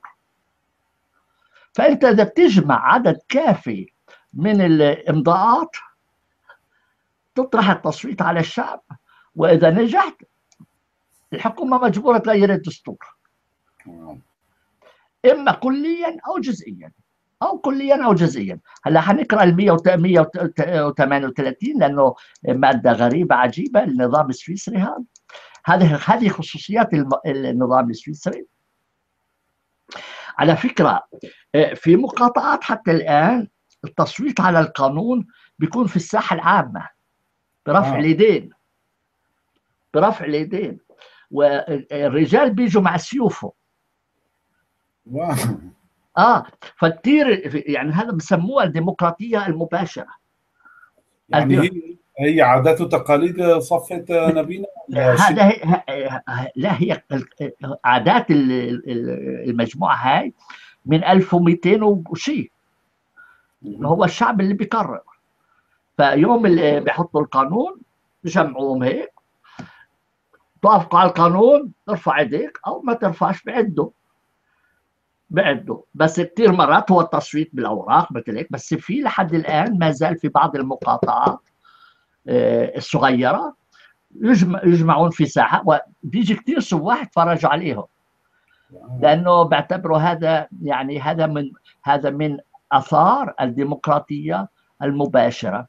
هلا المبادرة الشعبية لاقتراح مراجعة شاملة للدستور يمكن لمائة ألف مواطن يتمتعون بحق التصويت اقتراح مراجعة شاملة للدستور الاتحادي وذلك خلال 18 شهر من تاريخ نشر مبادرتهم. يعني أنت بتقول أنا عايز أغير الدستور وتروح تمضي على ورقة خلي الناس يمضوا عليها. لازم مئة ألف مواطن يمضوا على الورقة هاي. بنشروا فيها في الجريدة الرسمية أنه بدأت المبادرة. خلال 18 شهر لازم تجمع 100 ألف امضاء. بعدين بتقدمها للحكومة بيراقبوا إذا كل الإمضاءات صحيحة؟ إذا صحيحة مجبورين يغيروا الدستور. آه. أنت ممكن حتى إنه مراجعة الدستور جزئيا. هلا هناك مادة أخرى غريبة أخرى. مثلا هلا الحكومة الفيدرالية عملت قانون. الشعب مش راضي. الشعب مش راضي. ف حالا ممكن وناس يقولوا إحنا مش راضيين بيبدأوا تجميع تصويت تجمعوا تصويت التصويت. ويقولوا إحنا هذا القانون عايزين إنه يعني يتغير. إنه ما يدخلش حد تنفيذ. حيز التنفيذ. وتمنع القانون ويلغى ومجبور الحكومة تعيد القانون. حتى ولو كل البرلمان صوت عليه ما في مشكلة. الشعب رافضه بتغيره. بفرنسا اللي عندهم قانون الشغل مشاه البرلمان البرلمان الفرنسي. لكن الشعب مش راضي عنه. وعملوا مظاهرات وكسروا سيارات وصار مشاكل الله وضرابات ودنيا. لو بسويسرا مش راضيين بتجمع امضاءات وبالهدوء. مش عايزين القانون بيلغي القانون. بس فرنسا ما في هذا ما في هذا الإمكانية. لذلك مستحيل في سويسرا مستحيل في سويسرا إنه يصير. وهناك قوانين حتى إذا حتى الحكومة الفيدرالية أخذت بها مجبورة تعرضها على الشعب. إذا البرلمان صوت هو الالتزامي تعرض الموضوع المواضيع التالية الموضوعات الآتية التصويت على الشعب مقاطعات. إذا بدك تغير مادة دستورية يجب أن تعرضه على كل الشعب. البرلمان ما بيكفي.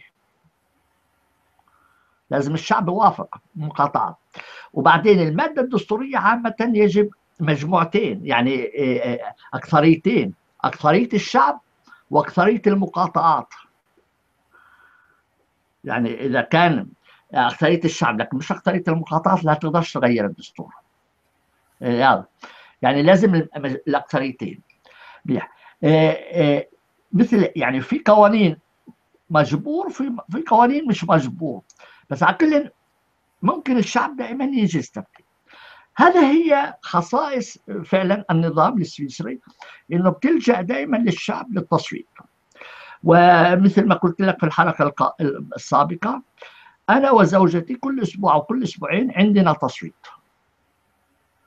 بيبعثوا أوراق لكل البيوت آه، وكل حزب بيقول شو عايز يصوت. بتتفرج بس أنت مش مجبور تتبعه.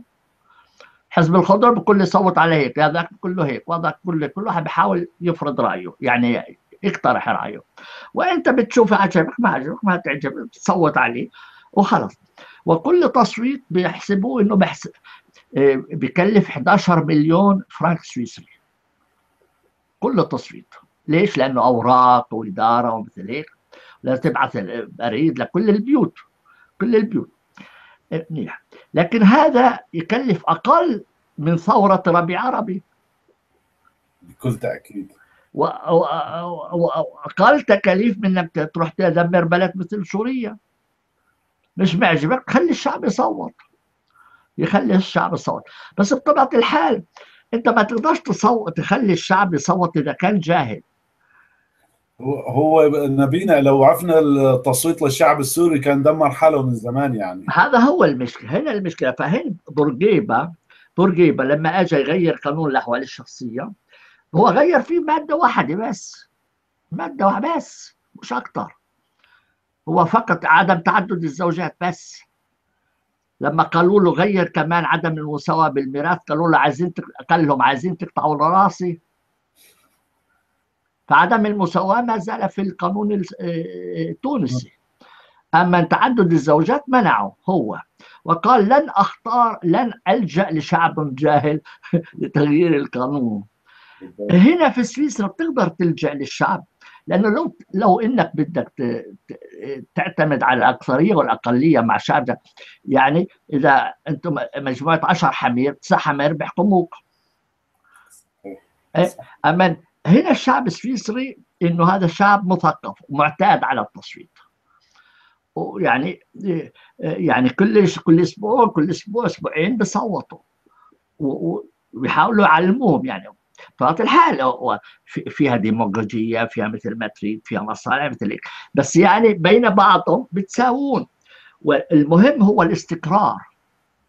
استقرار البلد. واستقرار البلد هو أساس الاقتصاد الاقتصاد. مثل ما قلت لك في الحلقة السابقة ما تقدرش تبني تروح تفتح مشروع في سوريا اليوم.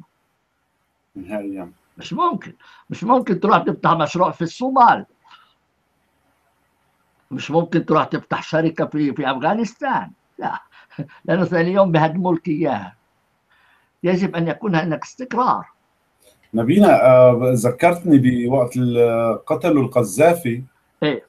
آه، إذا بتتذكر أول ما طلع هذا أعلن الانتصار إنه انتهت الثورة وانتصرت الثورة.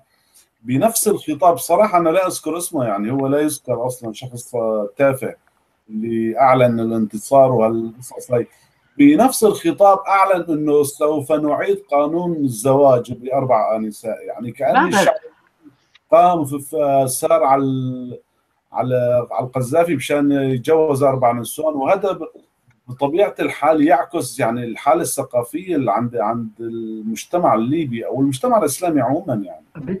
تمام. آه، أصلا في, في, في اليمن. لما أجوا يناقشوا قانون تحديد سن سن الزواج القانون اليمني بيسمح الزواج بعمر 10 سنين. عمر 10 سنين. وكل أسبوع هناك ثمان فتيات تموت بسبب الزواج المبكر. كل أسبوع. فلما جو جو ناس يقترحوا قانون جديد إنه يغير مين اللي مشى بالمظاهرات؟ النسوان ضد تغيير القانون. فأنت إزاي تستشير أغبياء؟ ان ابعث لكم طبيب طبيب طبيب للغباء ولا لا؟ تروح على مستشفى المجانين وتقول لهم صوتوا عايزين دواء ولا لا؟ هو المجانين يستشعروا ما يستشعروش. ولهيك الديمقراطية لا لا تفيد إلا في مع مجتمع مثقف. صحيح. ومطعم. ومطعم ضد ضد الأفكار يعني الغبية. حتى هنا في سويسرا أوقات لما أجوا عملوا عملوا التصويت ضد المآذن الحكومة قالت لهم بس هذا مخالف للحرية الدينية. لكن وخوفوا خوفوا فيهم. لكن الشعب رفض الحكي. هذا وضح الأمور الأسباب هيك اللي كانوا عاملين المبادرة وضحوا الأمر. والشعب قبل في في في المبادرة هذه. الحكومة انجبرت هم قالوا لا إحنا حنروح ضد تصويت الشعب. الشعب قال لهم ما يحق لكمش. ووصلت للمحاكم والدنيا وهيك ما فيش فايدة. لأنه قالوا لا إحنا إحنا ضد هذه الضجة اللي عاملينها. وضد السيطرة الإسلامية على المجتمع السويسري. يعني أنت ما تقدر تتعامل إلا مع شعب فهمان. بالضبط. ضرورة. ان تروح تعلم خمس ملايين طالب في في مصر في مدارس الأزهر. تخليهم تصوتوا على شو؟ إلا الإسلام. انت بكرة تعرف السادات شو عمل؟ الحركات الإسلامية طلبوا منه إنه إحنا نطبق الشريعة الإسلامية. فالسادات شو قال لهم؟ قال لهم بس أنت عايزين تطبقوا الشريعة الإسلامية وضحوا لنا شو هي الشريعة الإسلامية اعملوا لنا مشاريع قوانين. فعمل لجنة اشتغلت 40 شهر. 40 شهر يعني قال أهو 40 شهر مرتاح فشغلهم 40 شهر مين اللي اشتغل فيها؟ عمداء الكليات ورؤساء المحاكم و و و و و وأصدروا لك قوانين قانون العقوبات اللي بيقول فيها السن بالسن والعين بالعين وقتل المرتد ورجم الزاني ورئيس مجلس الشعب. قال هذا يوم أسعد أيام أمتنا لأن نرجع إلى شريعة الله. شاف السادات. هذا القانون وقفوا شعرات رأسه. قال ولو عايزين تودونا لوين؟ جابوا له القوانين قال له سيادة الرئيس أنت طلبت منا مشاريع قوانين لجنة فرجونية. شاف القوانين قال عفارم عليكم والله اشتغلتوا كويس حطوه على الرف.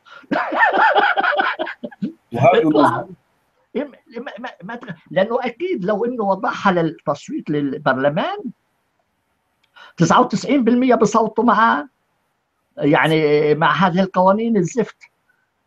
إذا شعب غبي لن يخرج عنه إلا الغباء. وبالفعل لما قامت الثوره بمصر يعني أول ما صار انتخابات طلعوا جماعة الصناديق غزوة الصناديق يعقوب ودول صاروا قاده المجتمع للأسف الشديد يعني. ما هذه هذه المشكلة يعني. الديمقراطية لحد يعني لنفرض إنه عشرة بيجوا يصوتوا يقولوا والله كل واحد اسمه سامي حنقتله الأكثرية إذا كلهم أغبياء حيكسبوا كل واحد اسمه سامي حتقتلوه. أو ما أعرفش مين. هنا المشكلة يعني لا يكفي اشراك الشعب يجب تثقيف الشعب. ومن هذا السبب يعني صدور نشر الصحف الصحف كانت صدور الصحف الهدف منها هو تثقيف الشعب. إذا عايز تشرك الشعب قبل ما تشرك الشعب يجب أن تثقفه. ما تقدرش تخرجه من الازهر وتقول له تعال صوت. اللي طالع من من من مجموعة موبوءة مثل الأزهر أكيد حيصوت على أشياء موبوءة مثل اللي بيقولها الأزهر مش حيخترع مش هيخترع شيء جديد مش هيخترع شيء جديد. أهو. طب أنا أنا هنا حتوقف عن الكلام عن سويسرا ونشوف إذا في أسئلة. آمل إنه استفدنا شيء. لن أتكلم عن الدستور السويسري ومعايبه لأنه تكلمت عنه في حلقة مع البط الأسود. لكن هنا مثال يحتذى به في سويسرا سويسرا إزاي ممكن نغير الأمور هذا وهذا يتطلب منا فعلا يعني رئيس متنور رئيس متنور لأنه مجتمعنا غبي. ما تقدرش تركن على المجتمع يعني إذا يعني إيدنا يعني مصيرنا مصير يجينا واحد غبي يحكمنا ولا واحد متنور. إذا واحد أجانا مثل أتاتورك بغير الوضع. إذا اجانا ناس مثل اللي حكموا سويسرا 1874 وضعوا هذا الدستور المتقدم نتقدم. أما إذا جانا إخوان مسلمين يا خراب البيت. يا خراب البيت علينا وعلى الجميع. أهو أخي إن شاء الله تعلمت أنت شيء من هذه الحلقة. نوعا ما. يعني وده أنا أنا تعلمت كثير أشياء يعني. أنا بتمنى لمجتمعنا السوري يعني المنقسم إلى مليون فصيل وفصيل بتمنى يسووا يا أخي يسووا انفصال. يعني ما في هالشو انفصال بس عيشوا بسلام. يعني لا يا, يا, يا, يا أخي يا أخي يدعوني بعمل لهم والله دستور مجانا. أنا اتبرع اتبرع أتبرع بوقتي إني اعمل لهم دستور واجد لهم حل على الطريقة السويسرية للخروج من الأزمة اللي هم فيها. مجانا لوجه الله. ما يقولوا لي يعني أهو يعني هذا هذا هذا ما أقوله.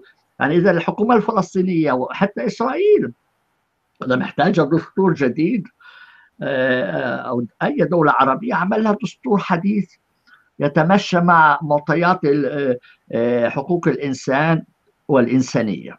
تفضل إذا في أسئلة نرد على الاسئله مثل ما قلت نبينا هو محتاجين ثقافة الشعب. الشعب هو لازم يكون يفهم.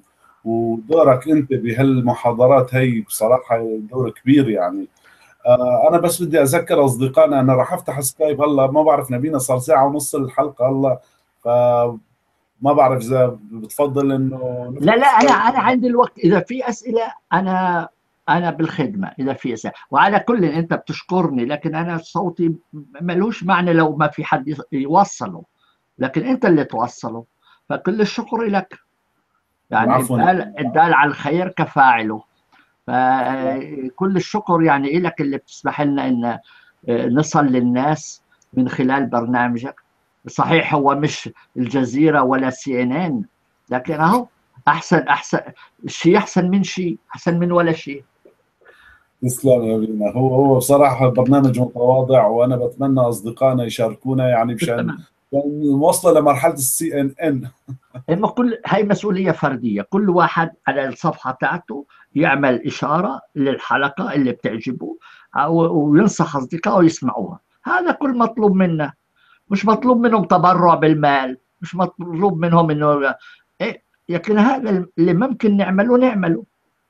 تفضل. نبينا نحن سوينا برنامج جديد اعلنا عنه هو الاتجاه المشاكس. إيه. ف... ونحن ندعو كل المؤمنين بصراحة من يعني رأس الحرب القرضاوي عفوا رأس المسلمين القرضاوي إلى أصغر شيخ أنه تفضلوا نحن ممكن نسوي هالمناظرات هاي وخلونا نتناقش. إذا كان عندكم الحجة القوية فأكيد ما في خوف يعني على دينكم. إذا دينكم هو الحق فالدليل أكيد لازم يكون موجود عندكم ونحن نفتح الباب للحوار نتناقش ونحكي فيه ونتمنى أصدقائنا المسلمين يعني يتصلوا فينا ويشاركونا ونجي نتناقش يا أخي. يعني المسألة مسألة إنه إنه بلادنا عم تتدمر. فخلونا نحط إيدنا على المرض نحط إيدنا على الوجع شو هو الخطأ اللي اللي اللي عم دمر بلادنا يعني. نحن برأينا كملحدين إنه الدين هو اللي عم بيدمر بلادنا. فتعالوا لنتناقش ونتفاهم ونحكي ومشان نوصل ل... يعني بالنهاية الحروب ما راح تساوي ما راح تنتهي إذا ما تناقشنا. أنا آه. بينا في عندي عندي تعليق بس اجى من أظن آه الأخ زنديق تونسي أمازيغي عم بيقول الملحدون الفلسطينيون الفلسطينيون ليسوا عربا العروبة احتلال للفلسطينيين مثل الإسلام. عندما يكتشف الفلسطينيون أصلهم الكنعاني وينبذون العروبة والإسلام سيستقلون وستنتهي وستنتهي. نحن الأمازيغ من كرمهم واحتلالهم لعقول شعوبنا المغيبة تحت قذارة وإرهاب الإسلام والعروبة. حتى أنت يا سامي هو لازم تقول النبي سامي يعني ما أنا أعترض على ال... لم تخرج من وهم العروبة. دول شمال أفريقيا ليست عربية بل أمازيغية. بكل تأكيد ليست عربية. الدول العربية بسموها عربية أكيد ليست عربية يعني لا سوريا لا فلسطين كلها احتلال عروبي إسلامي. فشو رأيك بتعليق الأخ؟ اولا أنا اكن كل الاحترام للإخوة الأمازيغ. اكن كل الاحترام وأعتبر إنه علمهم أفضل علم في الدول العربية هذا فعلا وأنشر كثير من صور الفتيات الأمازيغيات الحلوات في ثيابهم الجميلة التي تختلف عن عن أكياس القمامه التي يفرضها النظام السعودي على على سيداته. بطبيعة الحال وأنا أشجعهم انهم إنهم ينبذوا كل هذه التعاليم السيئه اللي دمرتهم واللي فرضت عليهم فرضا علما إنه الأمازيغ. 13 مرة جبروا للانتماء للإسلام و13 مرة ارتدوا. بالعصا فرضوا عليهم الإسلام. وآمل إنها تكون هاي الرده الأخيرة. مش آه. سامعك غير. آه طيب معنا اتصال من الأخ فيصل. تفضل أخي فيصل. أنا كنت أضيف الجمهورية كنظام حكم أحسن من الديمقراطية. عشان حتى لو عندك شعب مثقف زي اليونانيين القدام ذبحوا شعب كامل بالتصويت. واليونانيين القدام برضه بالتصويت قتلوا سقراط فال الحل هو انه الجمهورية مع شوية مبادئ أساسية ما بتتغير. زي زي الدستور الأمريكي. مع إنه صار اسهل يغيروه عشان زمان في العشرينات سووا تشريعات ثانية بس الجمهوريه حرية التعبير مثلا في الدستور فلا يمكن ينزل أي قانون يمنع هذا القانون إنه حرية التعبير. في الدستور يكون مكتوب فيه equal protection لكل الناس فما بيجيش قانون يمنع يمنع الحماية لمجموعة من الناس. وبعدين القوانين الفرعية اللي هي اللي هي يعني قديش في ضرائب وهيك ممكن إنه يكون فيها برلمان وانتخابات وزي هيك. فالقصد إنه دائما إحنا يكون عندنا حكومة أصغر شيء ممكن عندنا حكومة صغيرة. حكومة صغيرة مع شوية مبادئ أساسية تكون موجودة في الدستور. زي حمل السلاح وحرية التعبير حرية الدين الحماية لكل الناس منع التمييز حسب الجنس وال وال sexual orientation وال race وهيك يعني.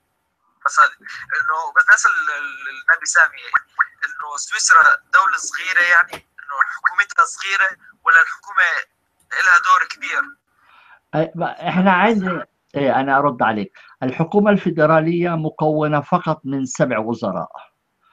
لكن عندنا 26 دولة وكل دولة فيها برلمانها. وفيها مجلسها يعني وفيها محاكمها وحتى قوانينها. يعني هناك سلطة مركزية لكن هناك عدم المركزية على مستوى المقاطعات وحتى على مستوى القرى. حتى الناس يحكموا حياتهم بحياتهم. هلا موضوع الديمقراطية أو الجمهورية أو مثل هيك. إذا نرجع لكلمة الجمهورية république باللاتيني هي res publica يعني الأمور العامة. res publica الأمور العامة. يعني تحترس على على على المصالح العامة. تحترم تحترم إرادة الناس ورغباتهم واحتياجاتهم. هلا أنا شخصيا مثلا كنت ضد الملكية. على فكرة أنا كنت ضد الملكية. لكن أنا لما بشوف ملكة بريطانيا اللي ما بتحكم هي فقط رمز. اليوم أفضل حكومة ملكية مع رمز وحدوي وحدوي مما نظام آخر مثل النظام المصري أو غيره هناك مثل هيك حسب يعني مين يحكم. هل هل رجل عنده سلطة يفرض إرادته على الغير أم فقط رمزية؟ إحنا عندنا مثلا في سويسرا رئيس الدولة يبقى سنة واحدة مثل ما قلت لك بصراحة أنا ما أعرف شو اسمه. أنا بصراحة ما أعرفش مين الرئيس تاع دولة تاع دولة سويسرا ولا يهمني أعرف حتى مين هو. ولا عمري شفت صورته. يعني بتروح على أي إدارة تريد حتى في البرلمان الفيدرالي مش حتجد صورته. إحنا عندنا فين ما تروح بتلاقي صورة الرئيس. وين ما تروح بتلاقي صورة الرئيس. أتذكر مرة كنت في مصر في سوريا قال لي واحد قال يعني رحت على شارع الكيت يعني فين ما تروح في رئيس لك يا أخي مالك؟ شو عاجك ليش عاجك بالرئاسة؟ تروح على تروح على إيران المحكمة رحت على المحكمة. كل الحيطان تاعون المحكمة من الداخل محطوط عليها خميني حتى ما تسترجيش تروح انت تعبان تركي على الحيط تيجي يجي مؤخرتك على راس الخميني بيحكموا عليك بالإعدام لأنه أنت تعتبره هذا استهتار برئيس الدولة إيه؟ فأنا كنت دائما واقف ب... ب... ب...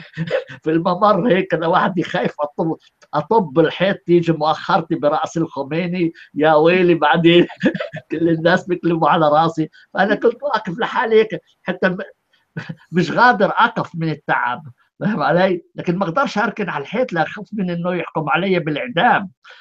شغله يعني هو حسب الشكل بس المهم إنه يكون عندنا رجل متنور وتثقف الشعب.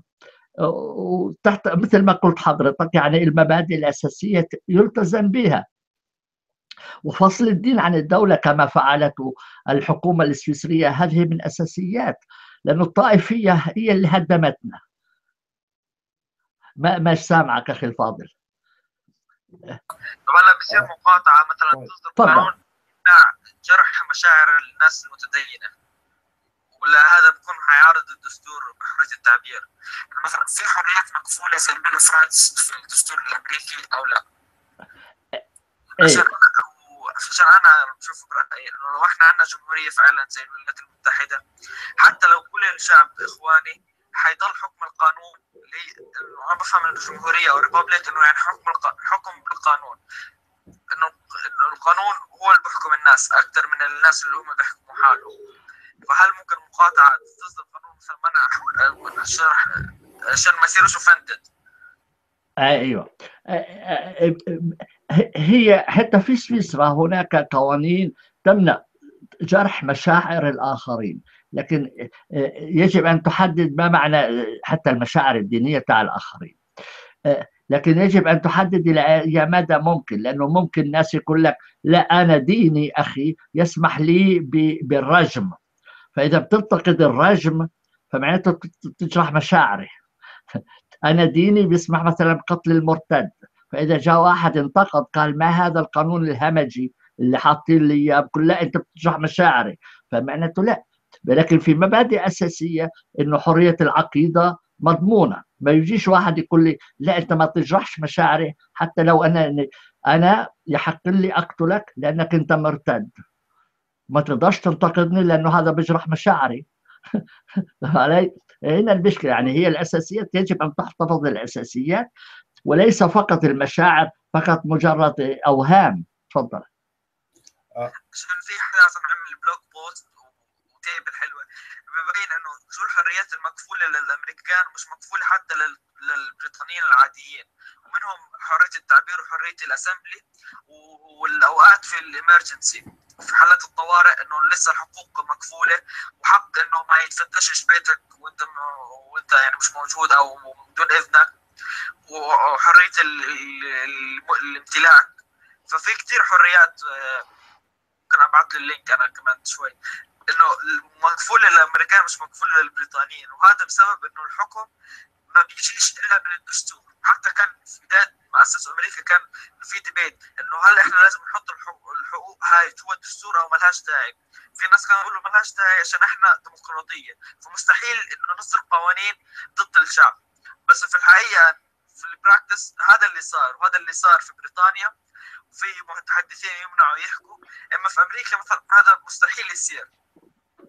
نعم صحيح صحيح إنه إنه في أمريكا في هناك أمريكا أكثر حرية حتى المواقع المواقع التواصل الاجتماعي تغلق أقل الولايات المتحدة حتى إذا عايز تعمل جمعية من الفضل أن تعملها في الأمم المتحدة في في الولايات المتحدة أو عايز تنشر كتاب أفضل تنشره في الولايات المتحدة لأنه حريتك حريتك حريتك مكفولة أكثر مما حتى في سويسرا.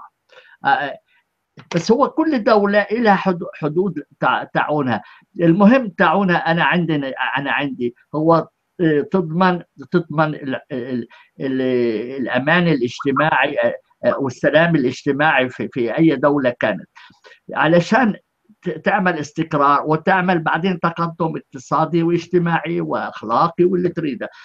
إذا أنت ما عملتش المبادئ الأساسية ممكن تتوسع بالقانون مثل ما توسع بالقانون مثل ما تريد. يعني في ناس عندهم 2000 2000 مليون قانون. بس المهم إنه النقاط الأساسية تكون لازمة ومفروضة على الجميع. هاي الخمس نقاط اللي أنا تكلمت عليها في الحكومة السويسرية اللي ضمنت سلامة المجتمع. كل كل الأمور الباقية يعني مهمة فعلا لكن هذه أساسيات التعايش بين الطوائف و في مجتمعنا. هذا هو نفسه بيرجع لأنه شو دور الحكومة؟ ف في تفضل. لما يجوا ال founding شو دور الحكومة انه دور الحكومة انها تكون صغيرة بس تكون كبيرة كفاية بحد انها تكفل حقوق أصغر فرد في المجتمع. تمام. مش لها دخل لا بال إنه ال taxation ما يكونش إلا بالضرورة وال businesses يكونوا free وكل بيت الحريات. واسف طولت عليكم. وشكرا شكرا لك أخي فيصل شكرا كثير لك. آه طيب معنا اتصال من الأخ أحمد. أخي أحمد؟ أخي أحمد أنت معنا؟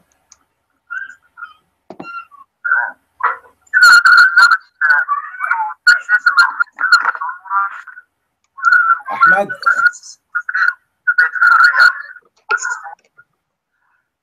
تفضل أحمد تفضل. أسفين على التأخير. لا ما فيش أسف ولا حاجة. الحقيقة بس أنا ليا سؤال لل للدكتور سامي. أه واضح من لهجتي إن أنا مصري فمهتم بشؤون مصر كتير. بحس إن أنت راجل قانون وراجل دي اتش دي يعني ان ان لو فأنا حابب أسألك عن سياسة الرئيس عبد الفتاح السيسي بالنسبة لي غامضة جدا. هو أحيانا في أحد خطاباته وكلماته للشعب هو لا يكون أي عداء أو أي خصومة مع الملحدين. وتبص تلاقي بعد ما يقول كده يسجن إسلام البحيري سنة لمجرد محاولته تجميل الدين الإسلامي. فكيف ترى السيسي كحاكم لمصر هل هو حاكم دكتاتوري أم هو يفعل هذا لمجرد محاولة منه لإعادة السيطرة على البلد بعد حكم الإخوان المسلمين أم هو بالفعل مبارك ثاني لمصر. وشكرا. شكرا. آه بدي أوضح لك شكرا على على المداخلة وعلى السؤال وأمر مهم يهمني جدا. أنا كتبت الدكتوراه تاعتي عن مصر. كتبت الدكتوراه تاعتي عن مصر عن وضع غير المسلمين في مصر ومهتم كثير كثير في قوانين مصر وأوضاع مصر. لكن أنا أصلي فلسطيني لكن مش مهم إحنا كلنا إخوة. ومصر أم الدنيا وأقدر الشعب المصري وأحب جميع إخواننا المصريين يعني عن حق حقيقة.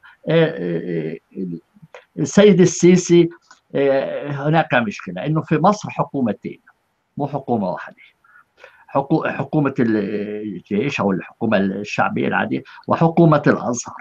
الأزهر يحكم هو حكومة بحد ذاته لأنه عنده خمس ملايين طالب تحكم فيهم ما فيش عائلة إلا فيها أزهري وكلامه مسموع من الشعب وهم ممكن يعملوا اضطراب قد ما يقدر صاحبنا صاحبنا السيسي صحيح هو ابدا ابدا أفكاره بخصوص إنه يحترم يحترم حرية العقيدة ومثل هيك وهو مشكور على ذلك لكن هو إيديه وإجريه مربطه هلا لنفرض هلا هو أكل حاول يأكل الإخوان المسلمين لكن الجزء الأكبر اللي لازم يأكله كمان هو الأزهر. هل حيتمكن من أكل الأزهر؟ هل ممكن يأكله بهذه السهولة؟ لنفرض أنت واحد أمامك أمامك أمامك عشر دجاجات بدك تأكلها. حتأكل خمسة مش حتقدر تأكل لازم تهضم الخمسة الأولى عشان تبدأ بأكل الخمسة الآخرين. لحد الآن لم يهضم. الإخوان المسلمين لم يخلص حتى يستطيع يبلع الباقي. هنا هنا هنا المشكلة. هناك تناقض؟ هناك تناقض في مواقفه. كيف يسمح بسجن البحيري؟ كيف يسمح بمحاكمة نعود؟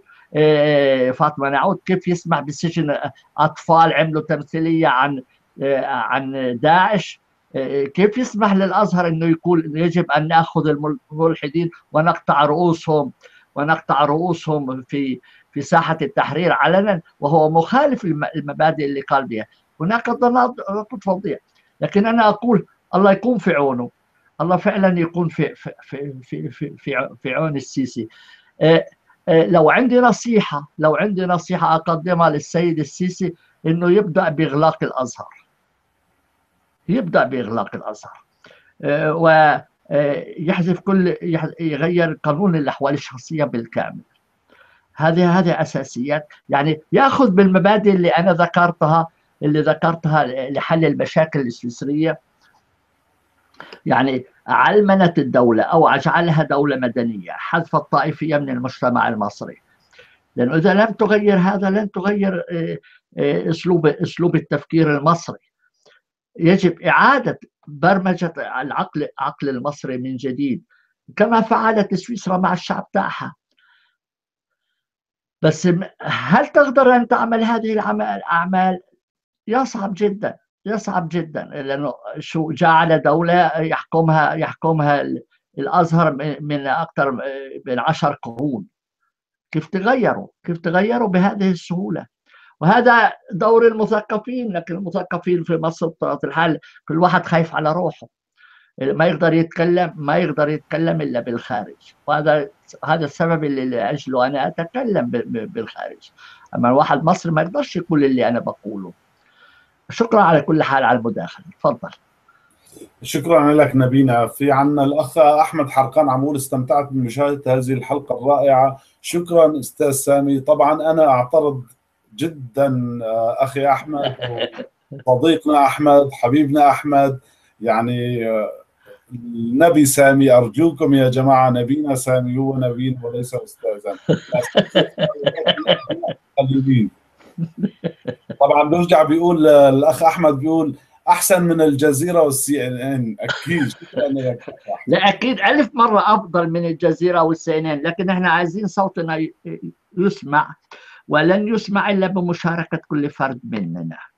بالضبط. كل فرد مننا يجب أن يضع جهده لتوزيع الحلقة على أكبر يعني أنا ودي إنه قبل ما يخلص يعني بكرة الصبح يكون مليون مشاهد لهذه الحلقة. هذا هذا الهدف.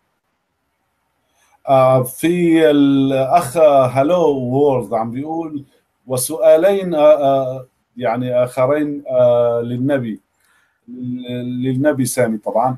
ما رأيه في برنامج أحمد حرقان الجديد حوار مع المؤمنين؟ وما نوع الخمر الذي يشربه؟ أيوه. في الواقع في الواقع أنا لم أرى البرنامج الأخير الذي تكلمت عنه لسبب بسيط إني أنا حاليا مشغول لفوق رأسي لانهاء الترجمة الإنجليزية للقرآن. فيعني أعذروني. اعذروني ان ما أقدرش أتابع كل الحلقات لكن أعد اني إني أتابعه. وأقول بكل صراحة إني أكن كل الاحترام للأخ حمد حرقان وعلى شجاعته وآمل إنه يكون مثال يحتذى به من جميع من جميع أفراد مجتمعنا. وجعل يعني يريها لنا في كل حلقاته وآمل إنه يستمر والله يمد في عمره. تفضل. أكيد أكيد. آه في الأخ هلا عنده سؤال عم بقول هلا أستاذ جان عندي سؤال للنبي سامي. ما رأي النبي في في العمانيين ومذهبهم الأباضية؟ العمانيين العمانيين العمانيين. عمانيين. العمانيين يتبعوا هم ناس بيقولوا إنهم الاباضه أنا رحت عمان مرتين. أنا رحت عمان مرتين. ليس الشيء ليس, ليس عندي أي شيء ضد العمانيين لا بل ان أنا أجدهم شعب طيب لغايه بغايه الطيبة. يعني الناس الناس طيبين جدا و... و يعني أحتفظ بذكريات جميلة جدا عندهم. واللي أعجبني فيهم مثلا اللي أعجبني فيهم إنك تروح المزارة تلاقيهم كلهم ماشيين بشبشب. أو بصباط حتى حتى سلطان قابوس بذاته لما يروح على بزيارات خارجية بروح بالشبشب. بالصباط بالصباط تاعه. انظروا للصباط تاعه. فلما رحت عندهم فأنا اشتريت صباط من مثلهم مشان ألبسه معاهم. وهو عامة إحنا نلبسه في البيت ما بنلبسه في الخارج لكن هم بيلبسوه في الوزارات. فأنا تعودت عليه وعجبني القصة هاي. وبعدين رحت على مصر فرحت آه رحت على محكمة النقد بالصباط تاعي تاع تاع عمان. القاضي القضاة اتفرج علي من فوق لتحت ومن تحت لفوق يقول من هذا اللي لابس الصباط اللي واقف قدامي؟ استغرب الامر لكن الشعب لطيف جدا. الإباضية هم بيقولوا عنهم خارجي الخارجية الخوارج هم بيرفضوا كلمة الخوارج. ابن تيمية كان يقول إنه هذول إذا مسكوا يجب أن يقتلوا. ابن تيمية بيقول لك هيك لكن تم نوعا ما تم نوعا ما قبولهم قبولهم من من من أهل السنة. لكن يا للأسف لحد اليوم كثير من المبادئ الإسلامية ما لم يتخلوا عنها. لن يسمح عماني مثلا إنه بنته تتزوج مسيحي. لن يسمحوا بالحر... بالحرية العقيدة. لن يسمحوا باختلاط المقابر. لن يسمحوا. بأمور كثيرة. يعني و يعني متمسكين ما زالوا بقشور الدين الإسلامي. على كل يعني آمل إنهم يعني طيبتهم الطبيعية تطغى على على المبادئ الدينية السيئة اللي تعلموها. هذا كل ما أتمناه لهم. لأنه أنا شعب حبيته كثير. واصلا هذا الشعب شاعر. شاعر. أنا أذكر لما كنت في رايح على وزارة العدل يوم واحد عمل وقف التاكسي قال ما عندي فلوس أدفع فلوس أدفع لك يا يا شوفير بس إذا تريد ممكن ألقي عليك شعر. كان يعني حيدفع أجرة التاكسي بالشعر. فقبلناه فقبلناه إنه يجي التاكسي طول الطريق هو يلقي شعر. وأنا رحت على الوزارة بقول له واحد واحد من موظفين الوزارة بقول له أخي ممكن تدلني كتاب قانون مفيد عماني يجب أن أشتريه للمكتبة تاعتي قال لي الكتاب الفلاني اشتريه. قلت له أنا شفته بس كله شعر وهذا قديم. قال له شو قديم؟ هذا أنا اللي كتبته. هم بيكتبوا كتب القوانين بالشعر. شيء غريب كتبهم القانونية بالشعر. يعني كيف تتزوج كيف كيف تستأجر بيت كله بالشعر. يعني آه. شعب شعب شعب شاعر فعلا. فرحت رحت حالا اشتريت هذا الكتاب وجمعت عدد من الكتب الشعرية القانونية الشعرية القانونية وهي يعني حالة نادرة. في العالم العربي الإسلامي. يعني يبين طيبة الشعب هذا وشاعريته. وما دام نتكلم مع النبي جان وهو شاعر وهو أكيد حيقدر هذا الموقف منه. تفضل. بكل تأكيد نبينا بكل تأكيد. أتمنى أروح أعيش في عمان معناتها مشان كل كلماتنا وكل حكينا يكون شعرا يعني. أكيد أكيد. آه طيب معنا اتصال من الأخ سال تفضل أخي سال مساء الخير. مساء الورد. تفضل. ب أشهد أن لا إله ولا الله وأن النبي سامي الديب اعظم وأروع نبي من غير إله. تسلم تسلم. ويأتي بعده النبي جان. تسلم يا طيب تسلم. أنا أنا نائب نبي. عم بقول أنا نائب النبي. مقبول إن نائب نبوتك فاهم صراحة أسمع للنبي سامي الديب وازداد حماسا كل مرة أسمع إلى كل مقال أقرأ كل شيء يطرح هذا الرجل المحترم. وجان شكرا للبرنامج مرة ثانية وعاشرة وألف. بس أحب أوجه صوتي للإخوان المستمعين والمشاهدين. كان عندنا 50 والآن تقريبا 35 أقل ما يمكن أن تعملوه يا إخواننا هو مشاركه هذه الحلقة. شارك انشر وحث أصدقائك على الظهور. يعني بدل أن تلعن الظلام اشعل شمعه يعني ما يقوله النبي سامي بأشد الحاجة في مجتمعاتنا لسماع هذا الكلام لسايد شيوخ الجهل. لكم عليكم واجب أيضا يا أخواننا المستمعين والمشاهدين بنشر هذه الحلقة والمشاركة. يعني آه، ضغط لايك يعني شغلة بسيطة وسهلة بس انشروها. هاي مداخلتي بس حبيت أحث الآخرين يعني أقل شيء ما يعم- يعملوه إنه مشاركة في الجروبات في آه، آه، آه، الضيوف جلب الضيوف أو حثهم على الظهور على الأقل وشكرا لكم مرة ثانية أنت رائع يا نبي رائع رائع شكرا. شكرا أخي الفاضل وأنا أضم صوتي إلى صوتك وطالب من جميع المشاهدين أن ينشروا هذه الحلقات بأوسع آه، قدر ممكن حتى يعم تعم المعرفة بدل آه، كلام شيوخ الجهل اللي للأسف سيطروا على مجتمعنا. أنا أنا بشكرك كثير سال على الوقت بالفعل أنا كمان بضم صوتي لصوتك يعني وبقول يعني زي ما حر- تحركنا نحن وشاركنا ووصلنا صوتنا للناس ال- ال- المؤمنين اللي بي- بي- بي- ما أقول ب- بتغيب عقلي يعني للأسف الشديد. نوصل لهم هالحلقات هي حتى يفهموا ويستوعبوا حتى نقدر نغير المجتمع يعني. إذا ما سوينا هيك ما راح نقدر نغير شيء. شكرا كثير لك سال شكرا. شكرا لك حبيبي. شكرا حبيبي. آه، طيب في عندنا سؤال أخير آه، نبينا وأظن يعني حاجة الحلقة طولت كثير. السؤال الأخير بس آه، من مفكر حر بيقول مرحبا جان أريد من الأستاذ سامي. يا جماعة يا جماعة أرجوكم أرجوكم. كلمة أستاذ نلغيها النبي سامي ما- بالضبط يعني لا يعني النبي سامي الدين هو نبينا وانتهى الأمر. عم بيقول مرحبا جان أريد من النبي سامي أن يجيبني ألم تكن النبوة من نصيب نسل إسحاق من النبي إبراهيم وليس إسماعيل؟ كما هو مذكور في التراث اليهودي فكيف آمن المسلمين بم- آمن المسلمين بمحمد وهو على حسب المذكور في كتب الإسلام أن محمد من نسل إسماعيل ابن النبي إبراهيم وليس من نسل إسحاق؟ أيوه. إيه، صحيح. إحنا لو نتبع خرافات اليهود مش هنخلص ولو نتبع خرافات المسلمين كم...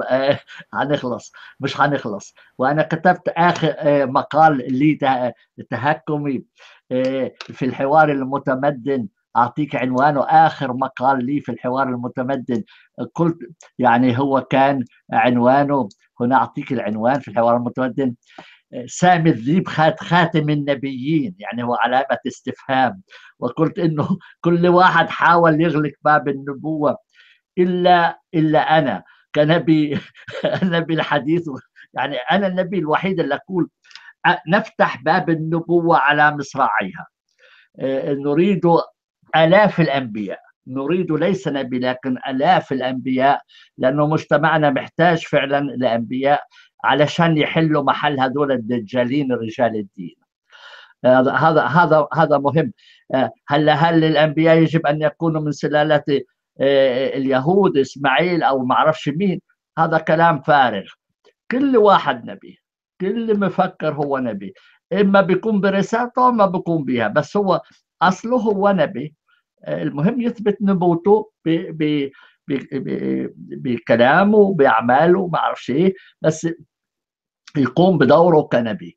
يعني نفتح باب النبوة لل- للجميع ولا ولا نحصرها بقبيلة من القبائل مهما كان اسمها عي اسمها إسماعيل ولا ولا غير ولا أصحاب ولا غيره ما إحنا ما لناش علاقة بالخراريف تاعونهم.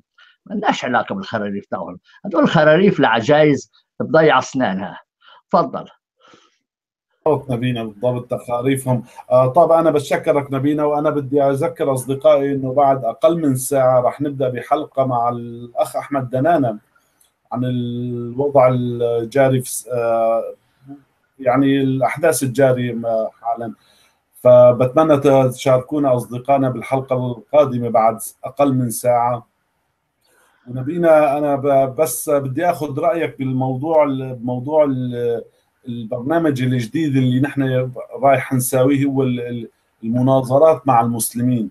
شو رأيك؟ في منا فائدة؟ في منا ال- آه، إذا إذا تجد ناس عندهم شجاعة إنهم يتدخلوا آه، بيكون جميل. يعني ليش لا؟ ليش لا؟ هذا هذا مهم الحوار ما بين الناس. وإحنا جميعا إخوة مهما الاختلاف في الرأي لا يفسد للود قضيه الاختلاف لا يفسد للود قضية. يجب أن نأخذ بهذا بهذا المعنى.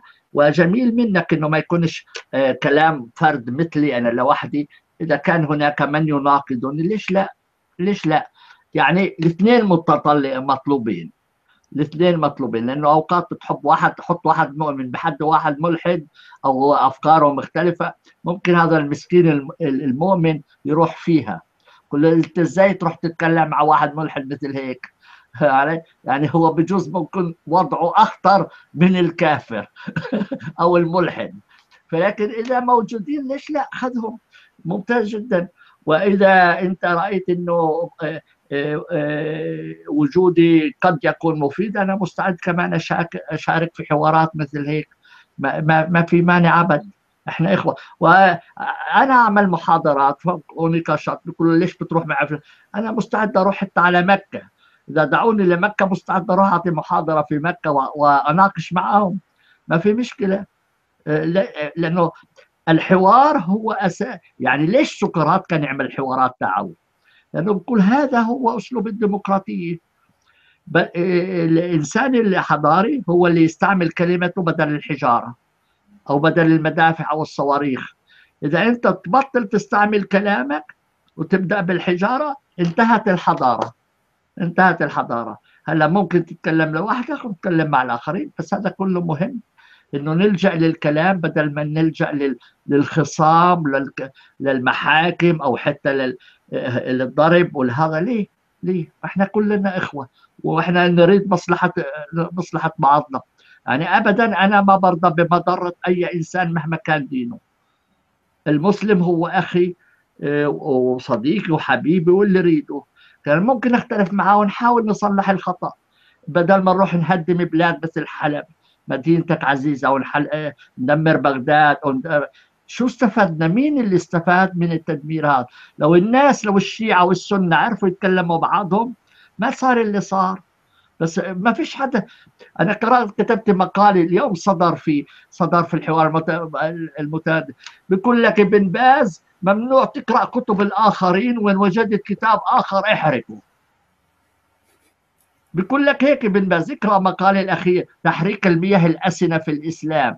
ابن باز بيقول لك ممنوع على المسلم يقرأ كتب كتب اليهود والنصارى.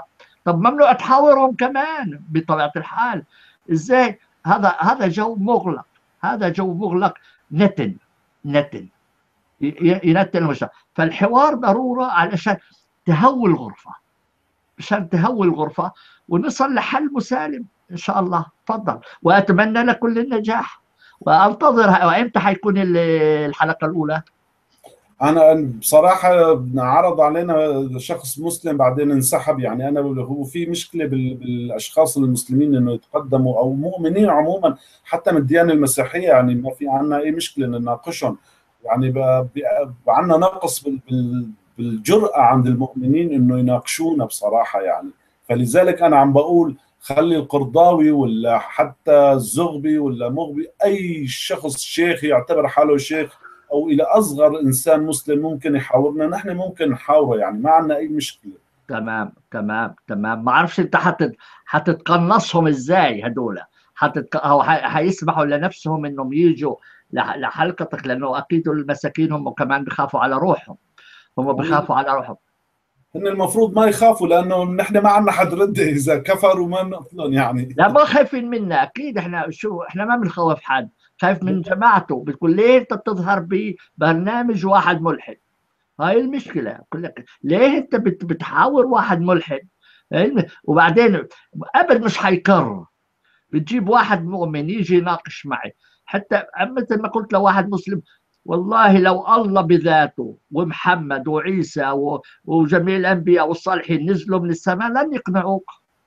لن يقنعوك. فكثير من الأوقات الحوار مع المتبدل المتدين هو حوار عقيم. لكن مش مهم. خلينا خلينا نعتبر إنه في إمكانية. مش مهم. خلي حتى إذا هو مش هيقتنع ربما غيره يقتنع. إذا هو مش هيقتنع ربما غيره يقتنع. فنتكلم حتى ولو إنه وإحنا لا أحاول أن أقنع متدين يعني إقناع المتدين كمن يحرث في البحر. فالج لا تعالج تفالج لا تعالج. لكن ما هو يعني ربما إذا مش هو حيستفيد غيره حيستفيد. فأشجعك على هذا البرنامج. شكرا شكرا كثير لك نبينا وأنا بتشكر أصدقائنا كمان طالت الحلقة أكثر من ساعتين صار لها فما تأخذونا على طول الحلقة. وطبعا أقل من ساعة رح نكون كمان على الهواء مباشرة مع الأخ أحمد دنانة. فانتظرونا أصدقائي. شكرا لك نبينا وإلى اللقاء أصدقائي. إلى اللقاء. وشكرا نبينا جان شكرا شكرا.